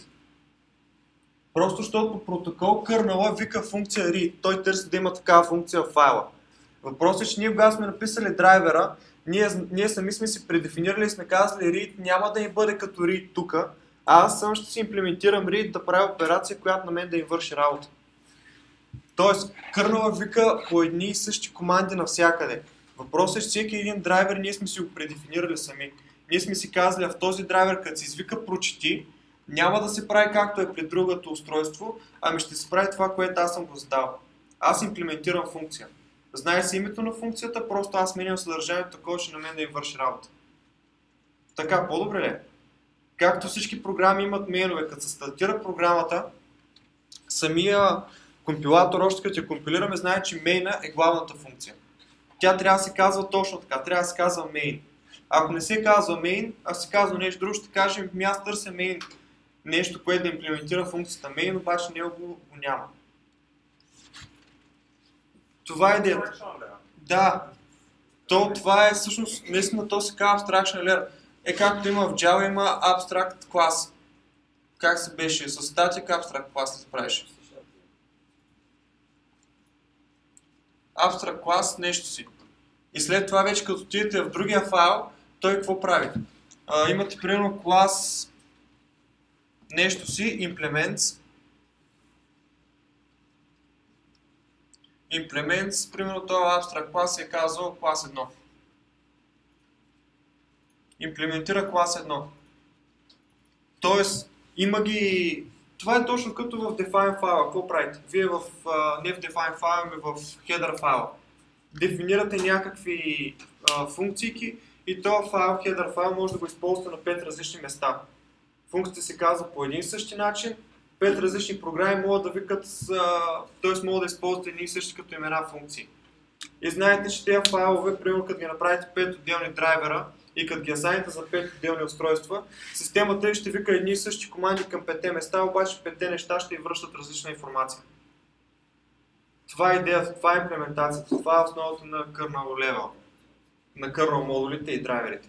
Други думи имаме и сигнатурата на функцията и в зависимост от какво устройство се извиква, то ни връща данни по, по негов си начин. Да, това е идеята. В смисъл, ние знаем каква ще бъде функцията, която ядрото ще изпрати като, като име, така да се каже. Вече ние ще си го имплементираме какво ще бъде действието вътре. Това е идеята на модула и заради това вие като пишете някакъв модул трябва да имате конкретна задача. Примерно аз преди малко съм задал задача в Processes да се, извика, да се направи един процес, който всъщност като го питаш какъв си тип процес да ти върне информация само Hello World. Защото то се знае, примерно, че аз като го направя този процес, като му кажа, примерно, кажи ми какво си, то трябва да върне Hello World. Използвам абсолютно същата команда, която да бъде към, а, примерно, към memory mem.info. Като обаче го питам mem.info какво си, той ми връща тотално различна информация. Уж викам програмата по абсолютно един и същи начин. Защото има един и същ общ системен кол, който казва, ако теб те питам това нещо, примерно ако теб те питам как се казва, ще, ще ми отговориш твоето име. Обаче ако някой друг питам как се казва, ще ми отговори неговото име. Това е систем кол. Успях ли го обясня поне малко? И така, това е мисля, че турмола за днес трябва да приключи. Все пак е събота, мен ми се спи брутално много. Така, а, домашната ще ви я кача сигурно утре сутринта да почнете да стормозите по нея. В понеделник ще ще със същата зала. И остава това е шестото ни упражнение. Другия път ще си говорим за това как да се направим файлова система. По-другия път ще си говорим малко за блок файлови системи при микроконтролерите, обаче ще бъде доста малко. И ще почнем вече да си говорим за нишки. И така, Важен ноут на изпита. Вече съм решил какви задачи ще има. Ще има една задача относно kernel модули, нещо, което е просто като алгоритъмче. Две задачи от C като алгоритъм също, един make файл и една задача с нишки. Всяка една от задачите ще носи по 10 точки, като колко се може повече задачи се проверяват от Judicator, останалите се проверяват от мен. Въпрос, тук един make файл, като за да копираме всяко останало ще ни трябва make файл?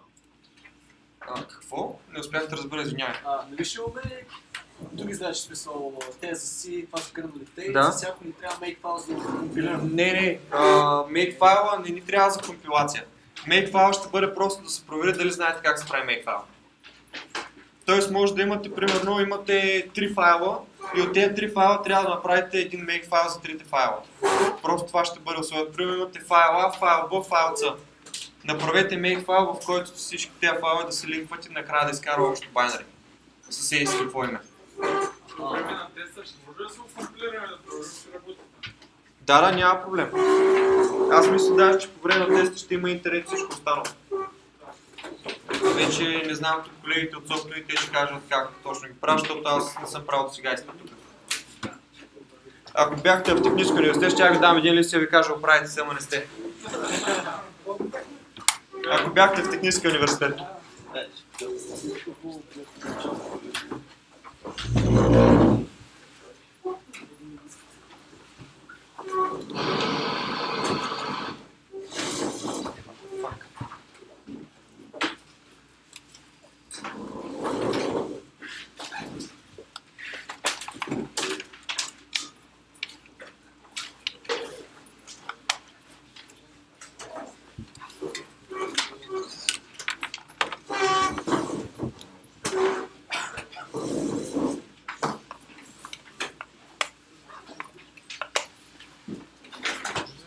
Много просто да, Да. те питам за статика, защото аз го ползвам често, ма, ма изуми с нещо, което не знам. Ако кажеш в един и същи файл скоп статик А, Мгм. статик инта е равно на 2, от толкова му го питаш пак да инициализираш, няма да стане, само Не. първия път става. Само първият път. Обаче ако това нещо го инклуднеш другаде и пак кажеш статика е равно на 5, ще го приеме ли? А, ако го инклюдваш друга статик, няма, статика няма да ти работи на нали? другото място. ползва. Умира си. Ще се ползва статика, ма другото. Да, ще си инициализира нов адрес за другия файл. Нещо, за което иска да попитаме, понеже ти каза, че ще, мине един път а, компилатор, да речем, през статика и че го инициализира. Обаче аз доколкото съм чел, това става пред процесорно време. В смисъл, Да, минава, чете го и като види, че има статик, заделя памет. Не е runtime, а просто Точно така, да. става. Аз това казвам компилатора, не е това, което е екзекютора. Ага, аз разбрах, че когато се екзекютне един. Не, когато се компилира, самия компилатор да. го разчита това нещо, че е статик и казва, окей, в началото на, примерно, ако си го направя един for цикъл отдолу и то казва, окей, аз още преди for цикъл ще инициализирам памет за това нещо Да. и ще използвам тази памет, която ще бъде долу в цикълчето.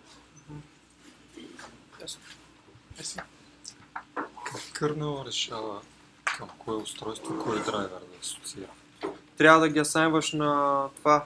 Аз нали бях казал за това, че устройствата имат тип, който е major number и номер на устройството като minor number. Може да използваш идентификатор на устройството като на minor number и кажеш това устройство се иска идентификатор ми е в момента локирано на, примерно на а, шина номер 4 и устройство номер 255. И то по този начин знае, че това устройство с този идентификатор трябва да се обръща с определения протокол, с определените файлове към него, определения драйвер. А ако направиш драйвер със същите, нали, същите major и minor number, като някой друг драйвер, Еми тогава ми ще става интересно. Не съм замислил за това. А, вероятно ще търси просто Мисълта как ми да е го как се предпазваш ти, да речем, от едно в е, Windows, който е хук. Нали, Мгм. да мине през тебе цялата информация и ти да, да си преценяваш, нали, примерно ако, ако минат а, данните от клавиатурата, да кажем, Мгм. ти се едно правиш keylogger. Може да ги записваш, нали? Да. И пак да ги предадеш нататък, нали? И да всичко да изглежда за юзера перфектно. Да, аз нали това исках да го направим с а, това, което се намесва систем, на систем коловете. Също. Ами, става забавно, трябва да го видя какво ще се получи, ако има конфликт на Смисъл, драйверите. Трябва ли да са подписани драйверите? Да, има signature. Някаква защита има ли срещу Има, има kernel signature и защитата, която я правят в Linux точно за такива, за подмена на систем коловете, е, че има универсален систем кол, който се ползва и се ползва на сорсовете, на брънчовете, на всичко останало от този пич, който е Linux Torvalds. Ти не можеш да плоднеш свой, а, свое дърво с системни команди, което да бъде различно от оригиналното. Можеш да направиш само локално копие и да си го използваш локално при тебе. Но винаги когато стартираш, винаги когато се използва нещо от кърнала, то ти отива към дефолт, към дефолтното. И това е начинът с който се защитили. Така. Аз имам един, всъщност един по-точно като фундаментален въпрос. То е, ако може да погледнем като Да. кода. Става когато имахме там едно, поне аз така си представям, като отваряне и затваряне или как да го пише, когато примерно отвори, ако можеш един си файл, който примерно бяха направили, примерно първия, първия там, който беше, добре. който е там, примерно Hello World. Защото знам, тази част малко бях пропуснал. Добре, това, което ми скажеш е Hello... Да, този... Не, не, не, не, не, не, говоря в тази част, която правихме. Hello World, примерно в, на Lecture 7, Аха, Hello World окей. от Example, да.